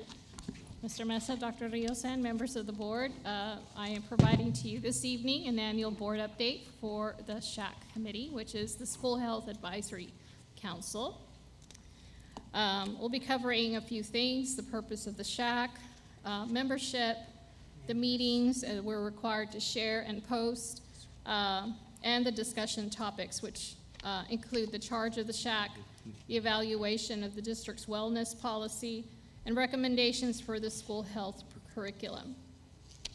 So the purpose of the SHAC is established in accordance with board policy BDF, and it's to ensure that we present our community values, they're reflected on health education in our district. So the mission of the SHAC is to promote student and school employee wellness. It's to advocate for a comprehensive school health program, and it's to serve in a health advisory capacity to the school board. These are our members, um, and so um, our committee members have been very, very supportive over the past couple of years, and they are uh, now finishing up the end of their second year term um, as uh, SHAC committee members. So we will be coming forward here uh, later in the spring to um, present new board members for the upcoming school year. But they do a tremendous amount of work. They go over the wellness policy with us and provide us with some advice moving forward. So here's what we've been talking about over the course of the year. Uh, we needed to prepare. Last in 2021, we were advised that uh, we needed to prepare for new health education TEKS. The TEKS needed to roll out And we needed to promote, promote student mental health, such as the Del Rio Cares Initiative and other support services that we offer in our school district. And increase parent and student awareness of the dangers of drugs and vaping in schools. And so um, these were three of the uh, priority topics that our SHAC committee wanted to prepare for for this coming this during this school year. The other part is um, we're required every three years to conduct a triennial assessment, and that is a compliance assessment. And basically, we review the wellness policy that was developed by the SHAC a few years ago. Uh, in fact, this is the third year. And we look at parent surveys, and a parent survey was launched um, at the end of last school year. And of course, any audits that we have from um, USDE, our, our uh, food services, and things like that. We start looking at, at that information. We do a SHAC review and a debrief of the actual audit. We start looking at it, and then they provide us with uh, recommendations moving forward. What are what is it that we need to prepare for and uh, adjust for the for the coming uh, school wellness policy because it will need to be updated. So the recommendations for improving the wellness policy are, of course, adjusting the language in the policy pertaining to school fundraisers in alignment with the USDE standards, and implement the health curriculum in grades K-8 in alignment with the new TEKS requirements. Um, this uh, at the start of this school year in 2021, um, the education code was updated and it changed the requiring the uh, requiring the board to adopt a resolution. If you recall, we came in last December because um, we the board needed to um, recommend curriculum materials because of the new health TEKS, and so it created a, a, a task for us um, and a task for um, our curriculum department to begin to research what was out there um, so that we can be prepared for uh, the teaching of uh, school health, but also the requirement of human sexuality instruction and the prevention of child abuse, family violence, dating violence, and sex trafficking. So the language changed in the policy. We needed to adjust it accordingly and we've needed to begin research on um, the products that are out there that would help support the curriculum for our district. They, um, the curriculum department had done that, has done that, and has done a tremendous amount of, of work and great job um, uh, with Mrs. Gomez and, and her team. They have researched and they have brought to the SHAC uh, proposed curriculum. And what is required is that we hold two meetings with the SHAC. We uh, present those, uh, the curriculum to them. We hold uh, the discussion or any questions, a Q&A, if they have any uh, questions about it. And simply all it is is that we presented curriculum that is most aligned with the, the new TEKS. And so um, they did just that. They presented just that to our committee.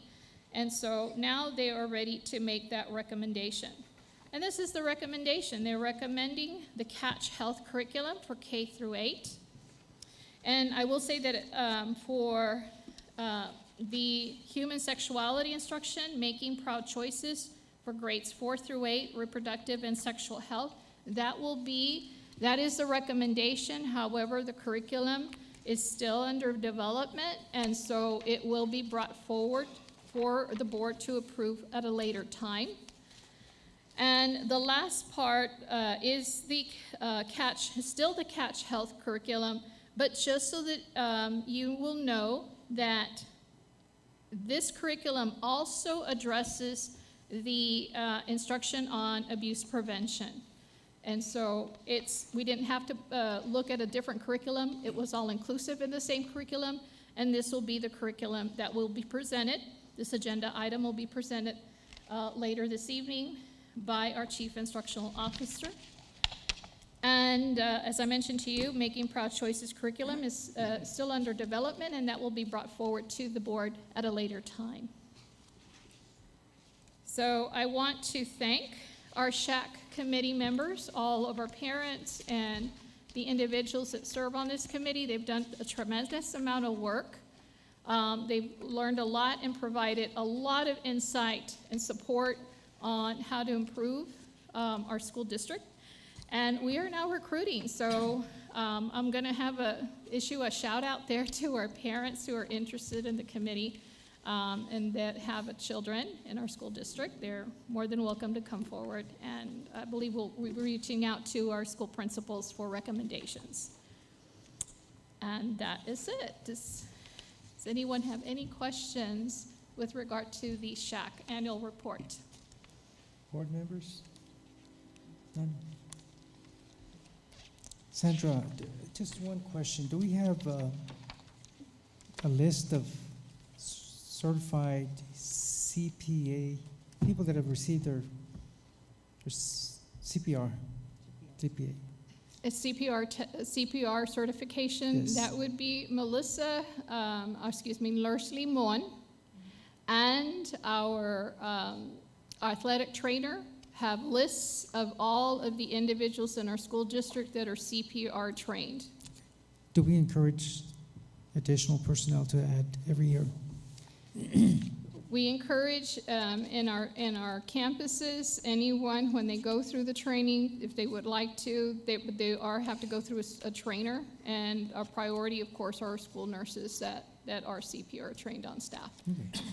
I, I just, you know, again, um, there's situations that come up and a lot of times, you know, because of the distance, they're, they're away from the nurses and so forth, especially the sports areas. Anyone else? We're done. Thank you so much. Thank you, sir. Okay, next item we have is item nine on the agenda. It's a consent agenda. Again, one action will approve all items on the agenda. Dr. Do you have a question? Uh, Mr. Massey, just uh, request that the board table item G6 from the consent agenda item. Okay. Item G6, Consideration to approve contract over five thousand dollars to MSB School Services. Again, funding source, general funds for medical, uh, Medicaid consult, uh, consultation and billing services related to school health and related services, SHARS. So we'll table that one. Again, if anyone has a question on any item, um. Galindo? It's not so much a question, I'm just gonna ask Dr. Rios just to clarify, um, case anybody follows the agenda, can you explain where the money for the bus is coming from? As far as it's a grant and how much it would actually save the district in the amount of years like we had discussed with getting these buses and how it does benefit the district? Yes, sir.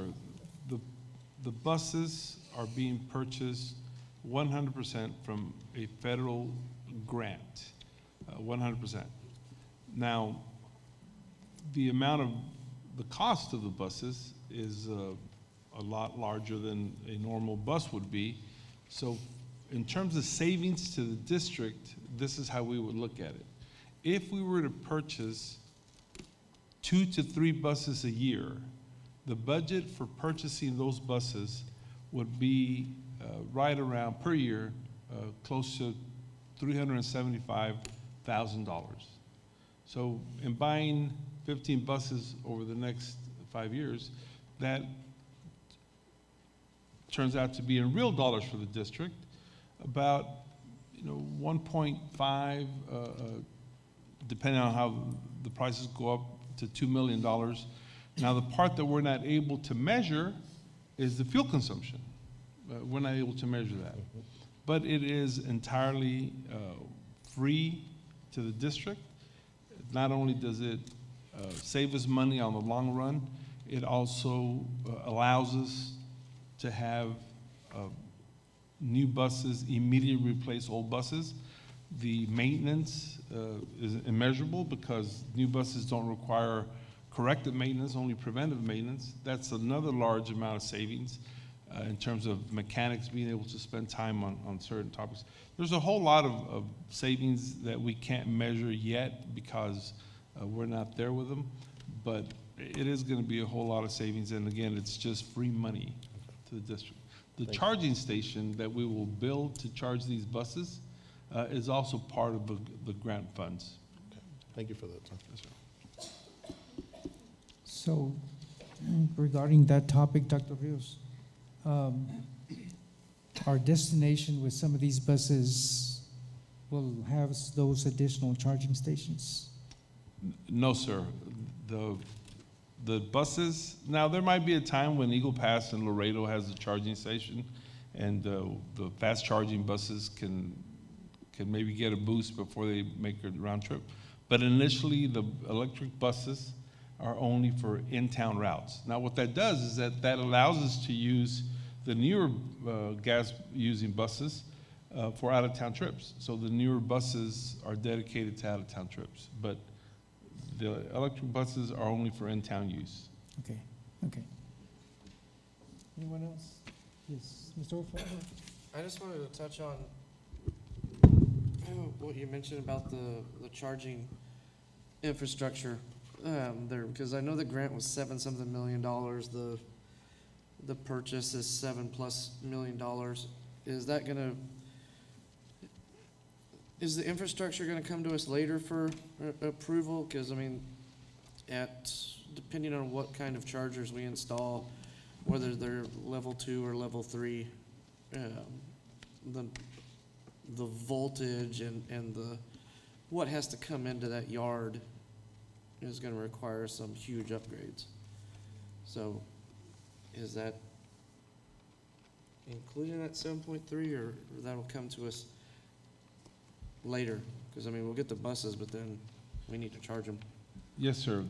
The- The PO will be sent out tomorrow for the buses, and then uh, Mr. Cabello, Mr. Chapa, and Mr. Carrera will work with Ms. Johnson to launch the RFP for the installation of the charging station and what we expect for the vendors to present to us. Uh, Both uh, Mr. Cabello and Mr. Chapa have already been in contact with AEP for the additional load that needs to come into the, to the bus depot uh, to make sure that all that is provided for. They- They've, they've been doing a whole lot of work uh, in preparing for that. Uh, The first step is to announce the type of buses, because then those individuals that are going to bid for the construction of the charging station need to know the type of buses that we're buying so that they uh, can then design the charging station in accordance with it. But yes, sir, that's, that- that will hopefully be coming to y'all within the next uh, couple of months. And again, they've already worked with the people that uh, would bid on constructing the charging stations to be able to work backwards to make sure that the charging station is complete at the time the buses are delivered. Okay. Um, Can I, can I put Mr. uh, Cabello on the spot? Mr. Cabello, once we send the purchase order for the buses, how long will it take for the first two or three buses to arrive?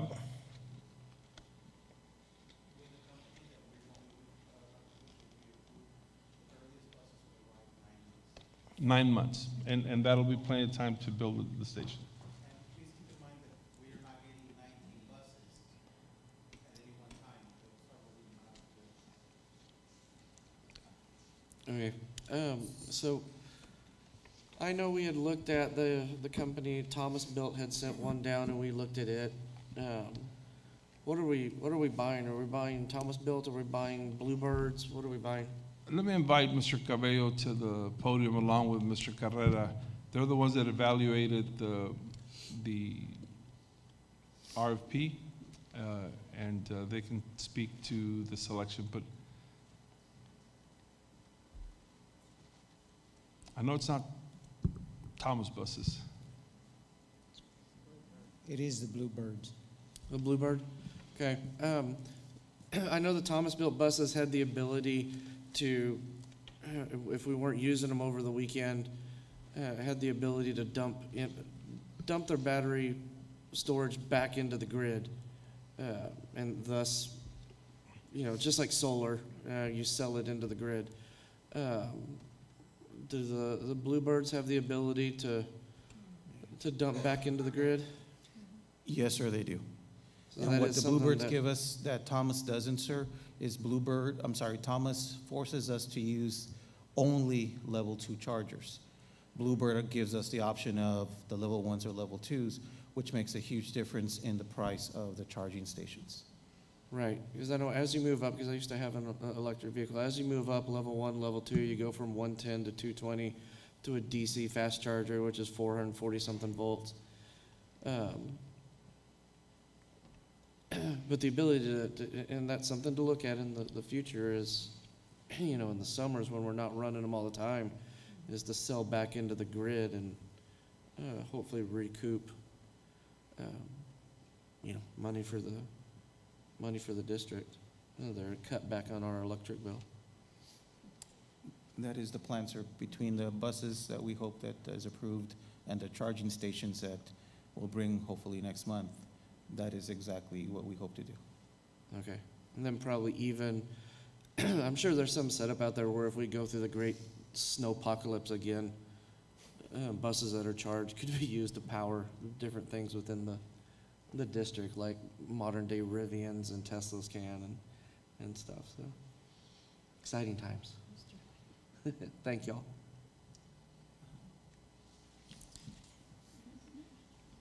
Anyone else? I just want to keep in mind um, that when we transition over, to make sure that um, our mechanics and maintenance people will keep up with, you know, again, um, the maintaining of those buses in regard to things that might, um, again, be broken or whatever, you know, just to make sure that we keep the training going up to individuals that will be uh, taking care of those buses. Okay, I'll go back again to the uh, consent agenda. There is a handout that was given to us because of the, there's minutes of the January 23rd meeting. Um, Again, one action item, we'll approve all items in the consent agenda. For the sake of time, because this is a long agenda, we'll again post the donations on um, either Facebook or, again, um, on our website. We're again uh, thankful for all the donations that were made to our school district. And so, um, again, any questions on any item on the consent agenda that you need more clarification? Anyone?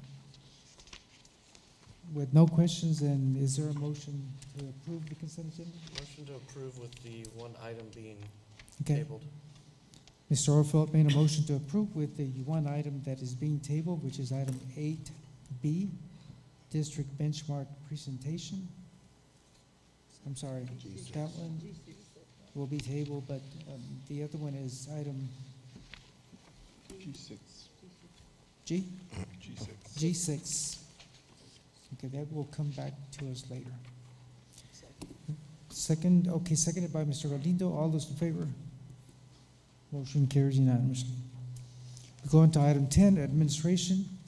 First item that we have under ten is ten A, consideration to approve the first reading of local policy update affecting policy F and F, local student rights and responsibilities, investigations and searches. Sandra Hernandez. Good evening once again, Mr. Mesa, Dr. Rios, and members of the board. This particular policy is the policy on random student drug testing. The uh, recommended changes to this policy is to uh, address the increase in the number of cases of uh, the possession and or use of THC by students in grades 7 through 12. And uh, the district recommends amending the policy to require, uh, to implement the random drug testing of students who are assigned to the DAEP, to the Alternative Center, uh, for violations of the Code of Conduct. And the students will be subject to such random testing for THC during the duration of their assignment to the DAEP.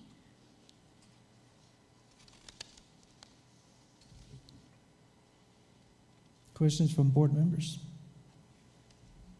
Yes, Ms. Overfield? I guess more of a comment or concern. THC oil, when used in a vape device, is a state jail felony. There, uh, and I know one of my fellow board members is a, a peace officer.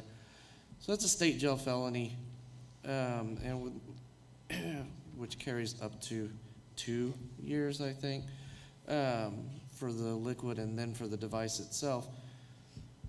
Um, seeing an increase in the number of our students or, or across the state, it's not just here, going in and, and using that. Um,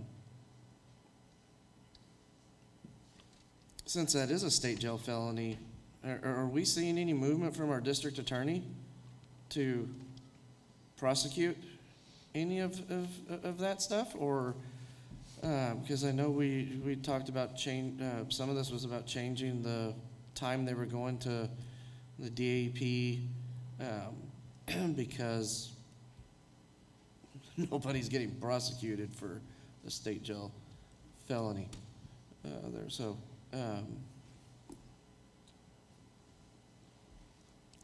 Dr. Is, le- is the law side of the community doing anything, not PD?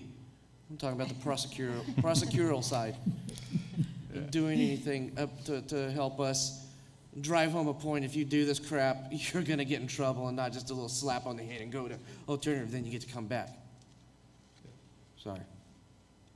So, Mr. Overfield, um, actually, Mr. Galindo looks like he wants to answer. No, you answer. We, we have, uh, when we first started dealing with THC, it, it was a, a huge, obviously a huge concern. What the district did is that we started installing vape devices. So now if you look at the news in the urban districts, there's a whole lot of districts being celebrated for installing these um, vape sensors.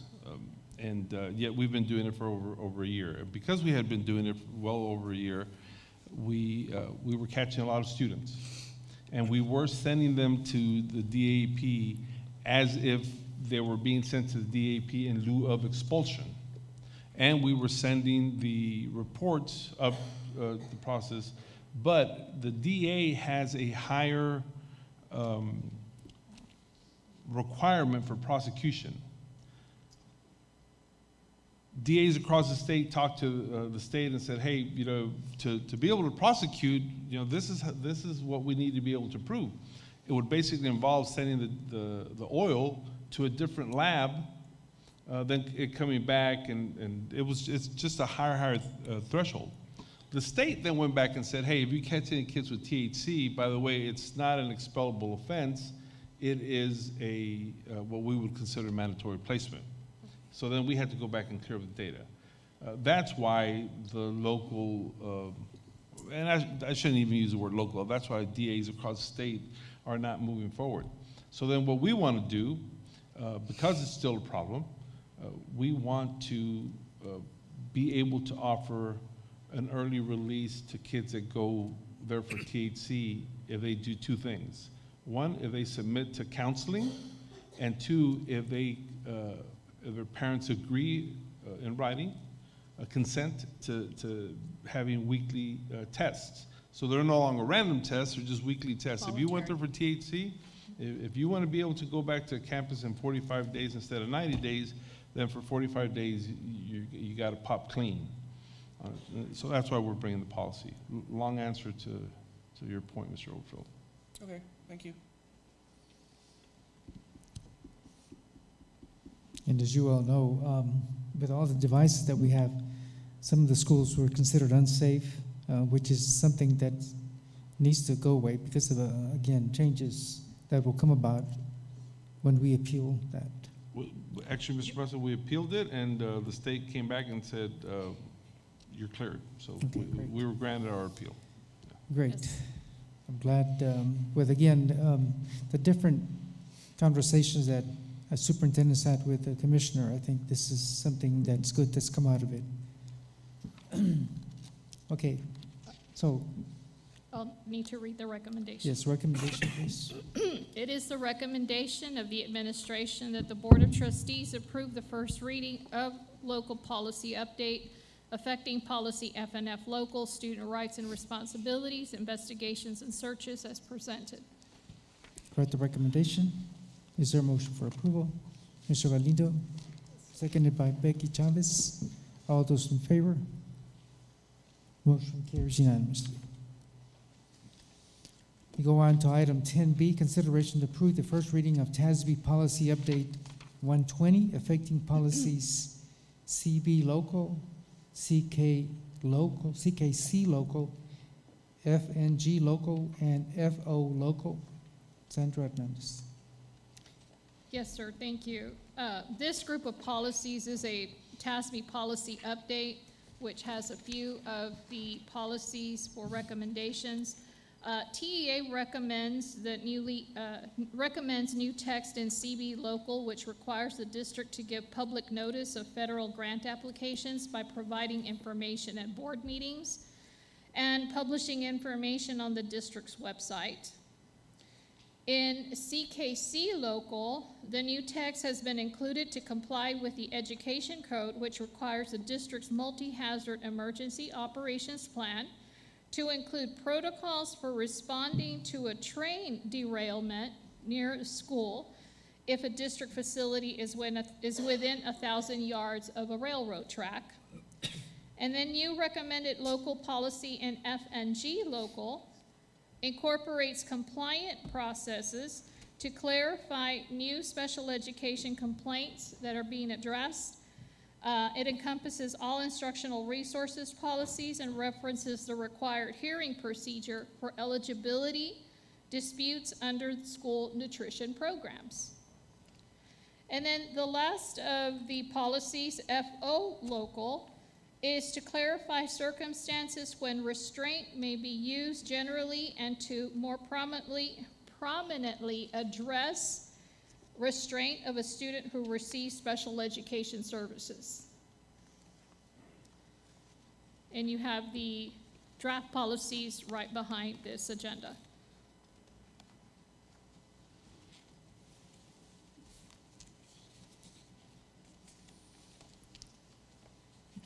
Just as a reminder to board members, we do have a policy committee that has reviewed these and has gone through the different changes and asked questions, but if you have any further questions, now's the time.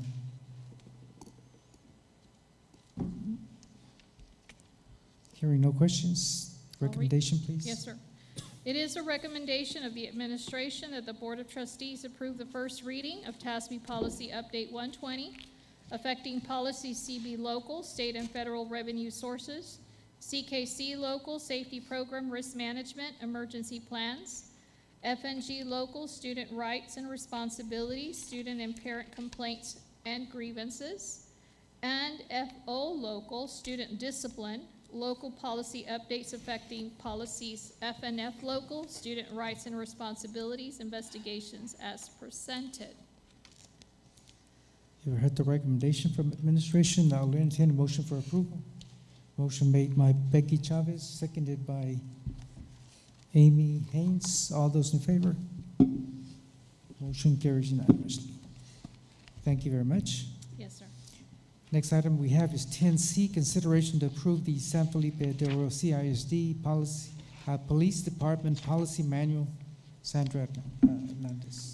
Yes, sir. Law enforcement agencies are required to provide essential services to foster safe communities through crime reduction and deterrence. And what our school district has done, like many other enforcement agencies, is they, they're obligated to train and supervise and guide our local law enforcement personnel in performing a variety of tasks. This manual has been put together so that um, this, uh, so that our officers are well-versed on the procedures, uh, training, um, and steps that are needed to take um, for law enforcement and, and uh, supporting our, the functions of the law enforcement agency in our district. Mr. Mesa, I've asked uh, Chief Foss, our Chief of Police, to come to the podium and uh, To elaborate answer on. any questions that y'all may have. Okay.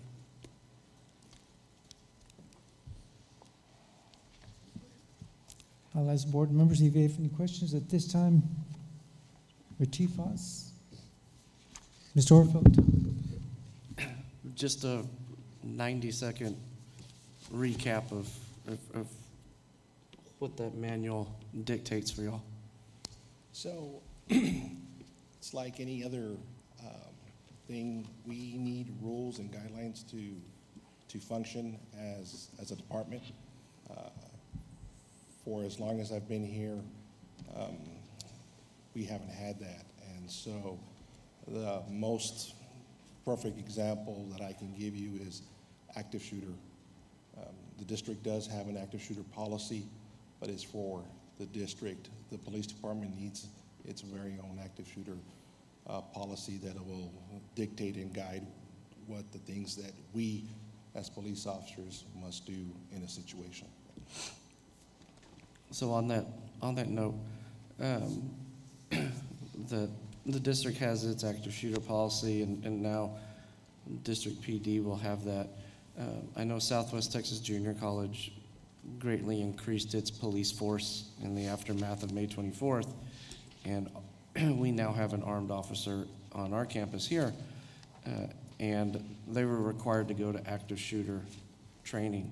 They're have our members or will our officers uh, go through, be required to go through active shooter um, situation scenarios training? Yes, sir. All of our officers have already uh, gone through active shooter uh, ALERRT training. Uh, And as a matter of fact, as this week alone, I'm, have one of my uh, sergeants is attending uh, ALERRT training to become an active shooter um, instructor. And so now I'll have two on staff and we can uh, provide our own training. And um, the plan is that at least every summer to have, uh, we're only required a- an eight-hour class, um, but at least have a a refresher. And it's also outlined in our MOU with the sheriff's office and the police department to, to have active shooter training together so that we're all on the same page. Excellent, thank you. Chief Foss, I have a couple of questions before I turn it over to some of the others. Uh, Shields and other um, firearm, uh, have high-capacity, um, I guess, ammunition and and cartridge or whatever, uh, are those specific to certain positions? Are they, I mean, like the rifles, I have seven rifles, and the way we've distributed them is um, by vehicles. So seven, ve- seven, seven rifles, seven vehicles, seven shields, seven vehicles. Um, I just received the entry tools um, uh, yesterday, so uh, we're going to put those out there, and our helmets are still pending. They need to be manufactured fresh, so it's, it's taking its time to, to get the equipment in there, but that's how we, we have them. Okay, you will Okay. keep inventory of that? Yes, sir. And then the rifles, everybody ha, everybody who's carrying a rifle um, and is assigned a unit uh, has to be qualified by, by TCOLE standards for that rifle. Okay.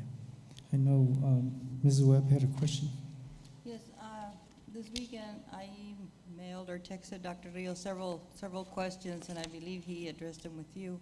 But my question right now is, a lot of our officers have had training, but can we get a list of all the officers and what training each one of them has had in order for them to be in compliance with the uh, in incident command system, and as far as any LEMI training that they have received, or what training have all of our officers received, and what are they in need of?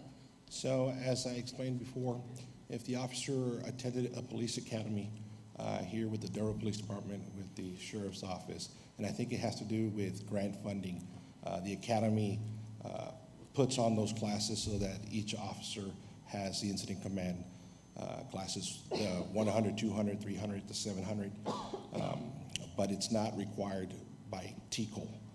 It's not a, it's not a requirement for, for TCOLE licenses. They just do it so that everybody's in compliance for federal standards. Um, and that goes back, I mean, I can check when was the last time the, uh, the class wasn't put on, but I think it goes back up to the early 2000s when they were, they were putting that class on. And, and uh, that was from both agencies. Um, So, I'm As far as it being a requirement, I mean, we can. Sorry, Chief, sorry to interrupt. The, the answer is yes, ma'am, we will provide a list of the trainings uh, that they've gone, whether they're required or not, so that then we can tailor a, a plan to provide trainings to those who don't have certain trainings that may be required. But To see what they need so that all of them are in compliance and everybody knows what the left hand is doing and what the right hand is doing, more, more or less. we'll provide a report, ma'am. It- It'll take us a while to put it together, but if you, if you give us, uh, thirty days, we'll, we'll definitely provide that, if a board update. Any other questions? Again, I appreciate all the work that goes into, again, having procedural manual. Um, It's a lot of work, but it's needed, and again, thank you for all the contributions from everyone involved. With that being said, any other questions? If not, we'll ask for the recommendation. Sandra will read Yes, sir. It is the recommendation of the administration that the Board of Trustees approve the San Felipe Del Rio CISD Police Department Policy and Procedures Manual and grant the superintendent and the chief of police future authority to amend the policy manual in order to comply with any changes in law or TCOLE requirements that may happen in later years. For the recommendation from administration, I'll entertain a motion for approval. Diana Gonzalez made a motion, seconded by Ms. Overfield. All those in favor? Motion carries unanimously. Thank you, sir. Thank you. Item ten D, discussion and possible action to donate surplus property to other charitable and/or educational facilities or entities. Dr. Rios? Mr. Mesa, members of the board, in preparation for transitioning the North Heights uh, staff to Ceniza Hills and the Cardwell staff to North Heights, uh, the district has bought new furniture for both facilities. In the past, we have stored the furniture uh, for long periods of time, whether it be at the uh, old Travis campus or even at the old Garfield campus and other places throughout.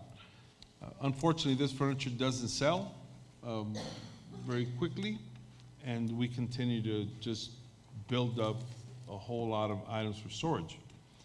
Because we've already purchased new furniture for Ceniza Hills and purchased uh, new furniture for Cardwell transitioning to North Heights, what we would like to do, and considering that the furniture will have uh, really no value to the district, rather than wait and store the furniture, we'd like to do things in this manner. First, we would like to obviously offer the furniture to any other campus who might need a desk, a teacher's desk, or, or, any nice filing cabinet of any sort to our staff.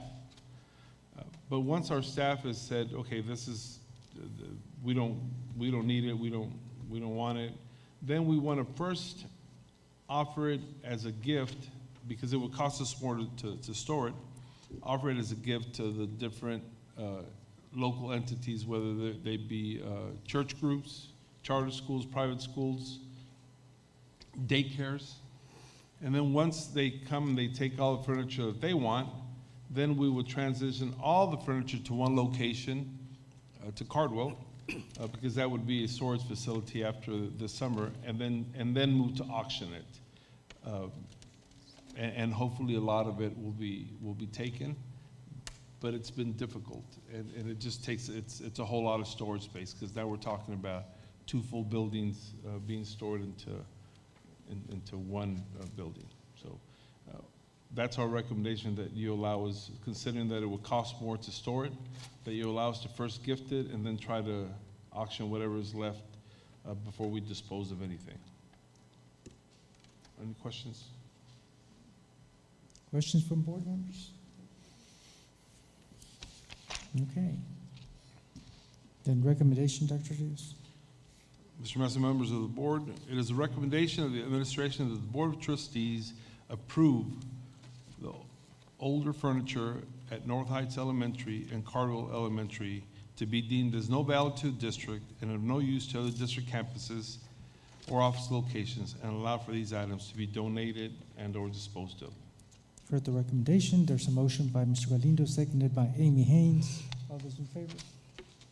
Motion carries unanimously. Thank you. Next item we have is item eleven A, consideration to approve the submission of an application to the Texas Education Agency, TEA, for a low attendance day waiver. Uh, Ida Gomez, Michelle Smith. Good evening, Mr. Mesa, Dr. Rios, members of the board. In accordance with the Student Attendance Accounting Handbook, Section 3.8.1.4, low attendance day waivers, a school district may apply for a low attendance day waiver for a day in which school was held, but attendance was at least 10 percentage points below the overall average attendance rate for the district or the applicable campus for the prior year due to weather-related health or safety issues. A winter storm warning calling for significant icing beginning late afternoon, January 31st, 2023, through early morning of February 2nd, 2023, was issued for Val Verde County. Due to the winter storm warning on Wednesday, February 1st, 2023, the following campuses experienced attendance rates below the 10% threshold established by TEA. Those campuses were Blended Academy, Garfield Elementary, North Heights Elementary, Lamar Elementary, Irene Cardwell Elementary, and Ruben Chavira Elementary. Administration is requesting permission to apply for the low attendance day waiver for the designated campuses. Questions from board members? I just have one. Uh, Mrs. Smith, have we been successful at every attempt for waiver uh, days from TEA? For low attendance day waivers? Yes. Yes, sir. We applied for one um, back in August of this year. Um, Once again, for a weather-related event, there was flooding. So we were granted? Yes, sir. Okay. Okay. Well, I'm glad we're doing this because again, we need all the assistance we can get. Again, we understand that uh, conditions, you know, again, with the weather alert, that helps us, um, you know, get the, the information uh, needed for uh, absences to be, uh, again, dismissed and therefore have a process to do that. So recommendation, we, don't have any other questions? It is a recommendation of the administration that the Board of Trustees approves the submission of the application to TEA for a low attendance day waiver for the selective campuses. For the recommendation from administration, I'll entertain a motion for approval. Motion made by Amy Haynes, seconded by Ms. Gonzalez. All those in favor? Motion carries unanimously. Thank you very much. Item eleven B, consideration to approve the Catch Health Ed Journeys curriculum recommended by the School Health Advisory Council, SHAC. Ida Gomez. Good evening, President Mesa, Dr. Rios, and members of the board. The Texas Education Agency requires a health curriculum for all kindergarten through eighth grade students. The goal of health education is to provide instruction that allows youth to develop and sustain health promoting behaviors throughout their lives. The understanding and application of these standards will allow students the ability to gather, interpret, and understand health information. In kindergarten through eighth grade, students will gain an understanding of health information and skills through the following five strands physical health and hygiene, mental health and wellness, healthy eating and physical activity, injury and violence prevention and safety, alcohol, tobacco, and other drugs. In the state of Texas, the Catch Health Ed Journeys curriculum covers 100% of the required health education TEKS for grades kindergarten through eighth grade. The program includes 36 weekly lessons, which will be delivered by teachers in elementary and through PE or elective courses in middle schools. As Ms. Hernandez noted, we, there is a second component to fourth through eighth grade for the um, reproductive and sexual health. We will be bringing that to the board at a later time. For tonight, um, we are asking the recommendation for the health curriculum, which is the required TEKS for kinder through eighth grade. Are there any questions? Yes, ma'am. Yes, Becky Chavez? Yeah, sorry. So this uh, curriculum would be taught by both the teacher and the physical ed teacher? Or just the In, teachers? in elementary school, kinder, first, second, third, fourth, and fifth grade, it's part of the teacher curriculum. Teacher curriculum. Yes, ma'am. Okay. In sixth, seventh, and eighth, because we have elective courses and PE full coaches, it could be taught through there also. It could be. Yes, All ma'am. right. Thank you. Anyone else? Recommendation, please? Yes, sir.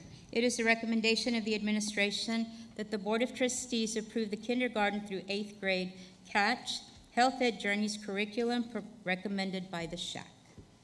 Read the recommendation. Is there a motion for approval? Motion made by Ms. Gonzalez, seconded by Becky Chavez. All those in favor? Motion carries unanimously. Thank you. Thank you. We go to Human Resources, item 14 on the agenda. First item we have is item A, discussion possible action to approve employee job descriptions and evaluation forms. Aide Garcia.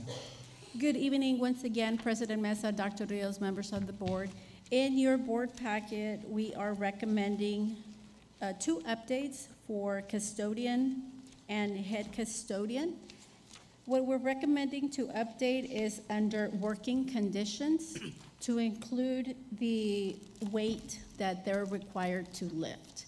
This comes in handy when employees are eager to come back to work after medical leave or workers' comp. And a lot of times their doctor gives some restrictions.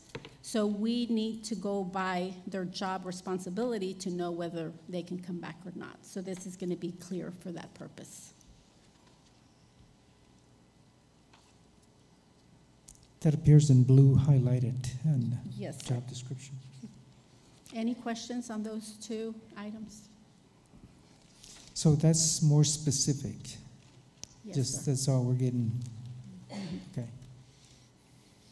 Any questions? We're good. Okay, recommendation.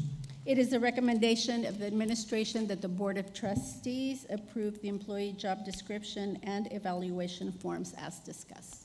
For the recommendation, is there a motion for approval? Motion made by Mr. Galindo, seconded by Linda Webb. All those in favor? Motion carries unanimously. Thank you.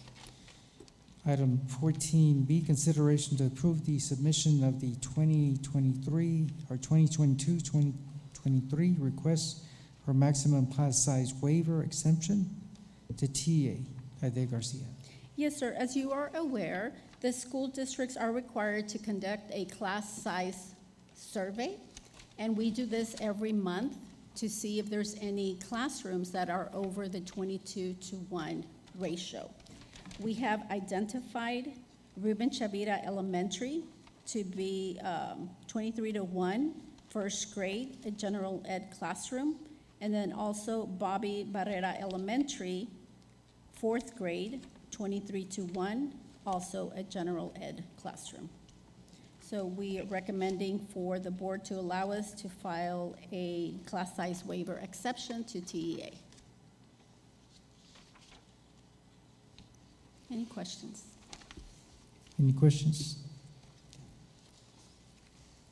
No, no questions, recommendation, please. It is a recommendation of administration that the Board of Trustees approve the submission of the 2022-2023 request for maximum class size waiver exception to TEA and the compliance plan.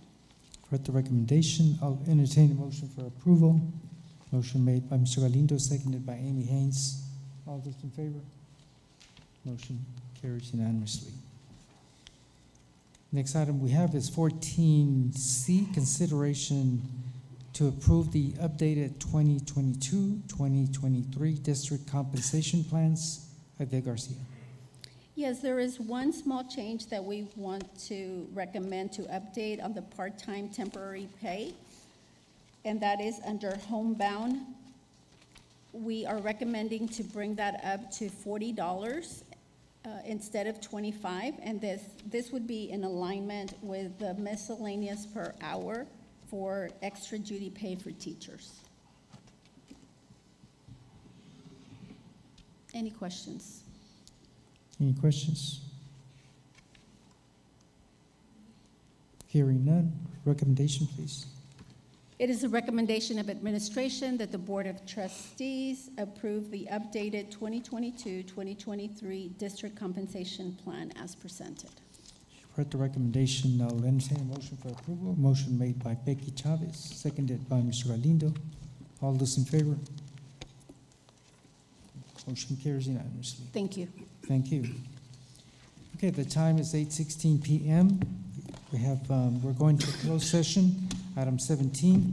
We're going to close session pursuant to policy 551.074 and 551.071 Again, uh, we are going to close session and no action will be taken. If action is required, we'll be reconvening in open session and taking action upon um, reconvening. We're now in closed session.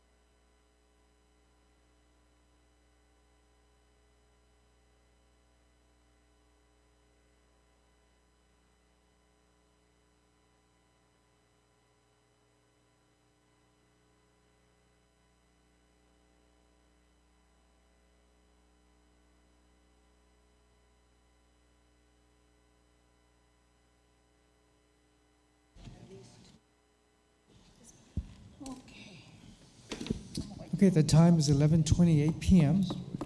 We're reconvening into open session. No action was taken in executive session. We're down to item eighteen on our agenda. Item eighteen A, consideration to approve the personnel report to include the following: new hires, district vacancies, retirements, resignations. Aide Garcia. Good evening, once again, President Mesa, Dr. Rios, members of the board.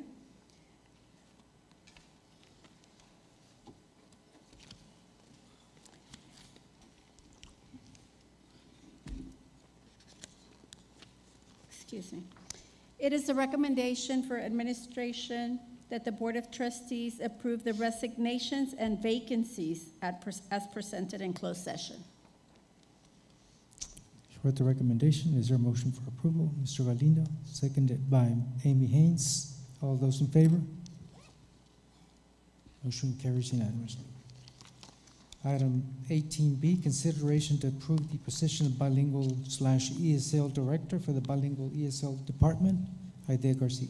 Yes, sir. It is a recommendation of administration that the Board of Trustees approve Ms. Karen Schaefer as the bilingual ESL Education Program Director for the Curriculum and Instruction Department.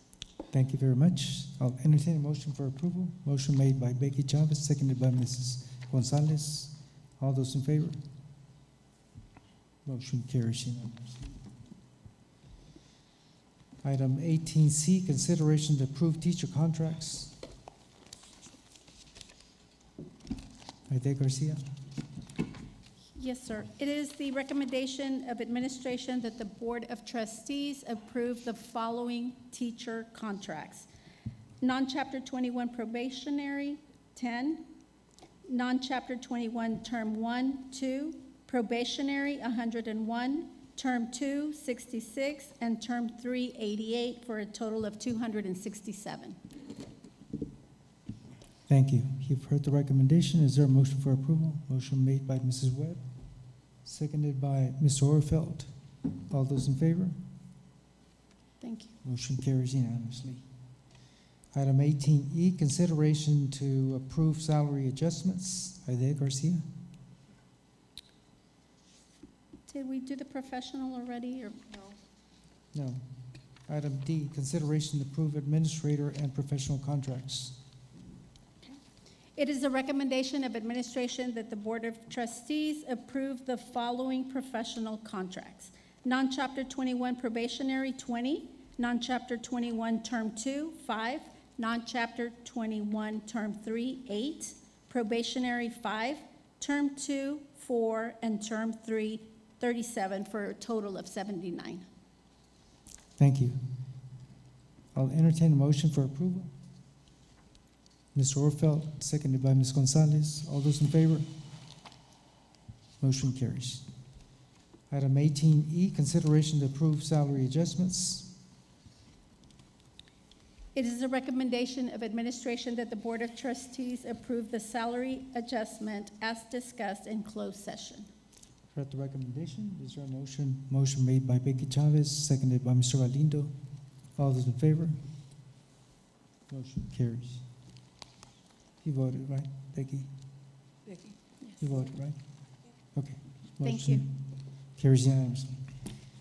Okay, in the matter of uh, level three grievance concerning Carolina Galindo, is there a motion? I'm sorry, Mr. President. Give me one second. You're, you're right. I was wrong. Okay. We're going um, on the agenda, um, on the list of grievances there.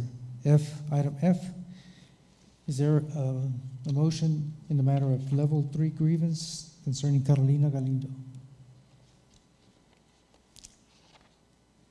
Hearing none, administration decision at level one stands. In the matter of uh, level three grievance, item G, concerning Cristina Hernandez grievance, is there a motion?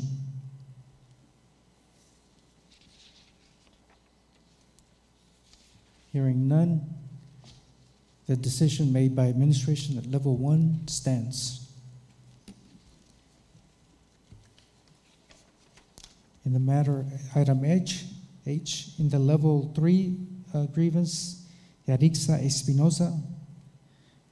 Is there a motion? Hearing none, the decision made by administration stands at the level one. Item L, item I, in the matter of level three grievance concerning Yvette Cordova, is there a motion? Hearing no motions, the matter at uh, level one, decision by administration stands. Item J, level three grievance concerning Sherry Galindo, is there a motion?